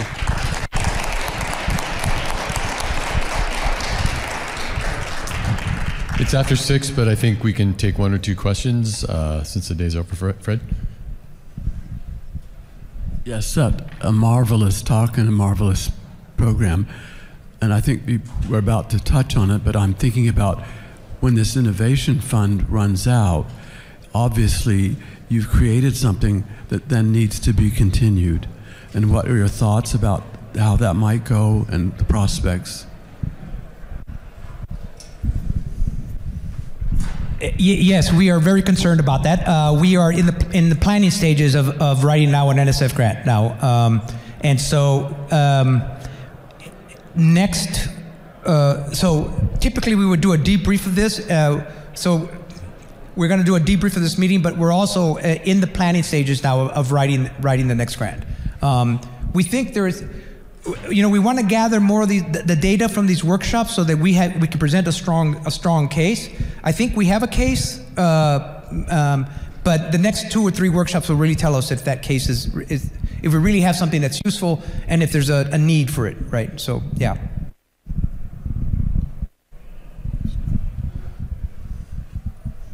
Is this the name of the workshop? How do I? Is that the name of the workshop? What was the name? How will I find it on the epitome? So, so the program is called the APS EDI Fellows. Um, and again, we will have a workshop in April at the April meeting in Minneapolis as well. And also at, on the Committee of Status of Women in Physics, and COM as well, but I forget when COM is. Uh, Committee on Minorities as well.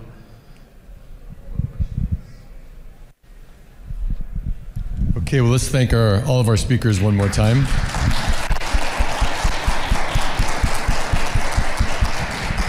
And thanks to all of you for sitting through this session and participating. And one more uh, thanks to the Forum on Physics and Society and Forum on Diversity, uh, FDI, Forum on Diversity and Inclusion for hosting us. Thanks. Uh, may I say let's thank both. well, thanks.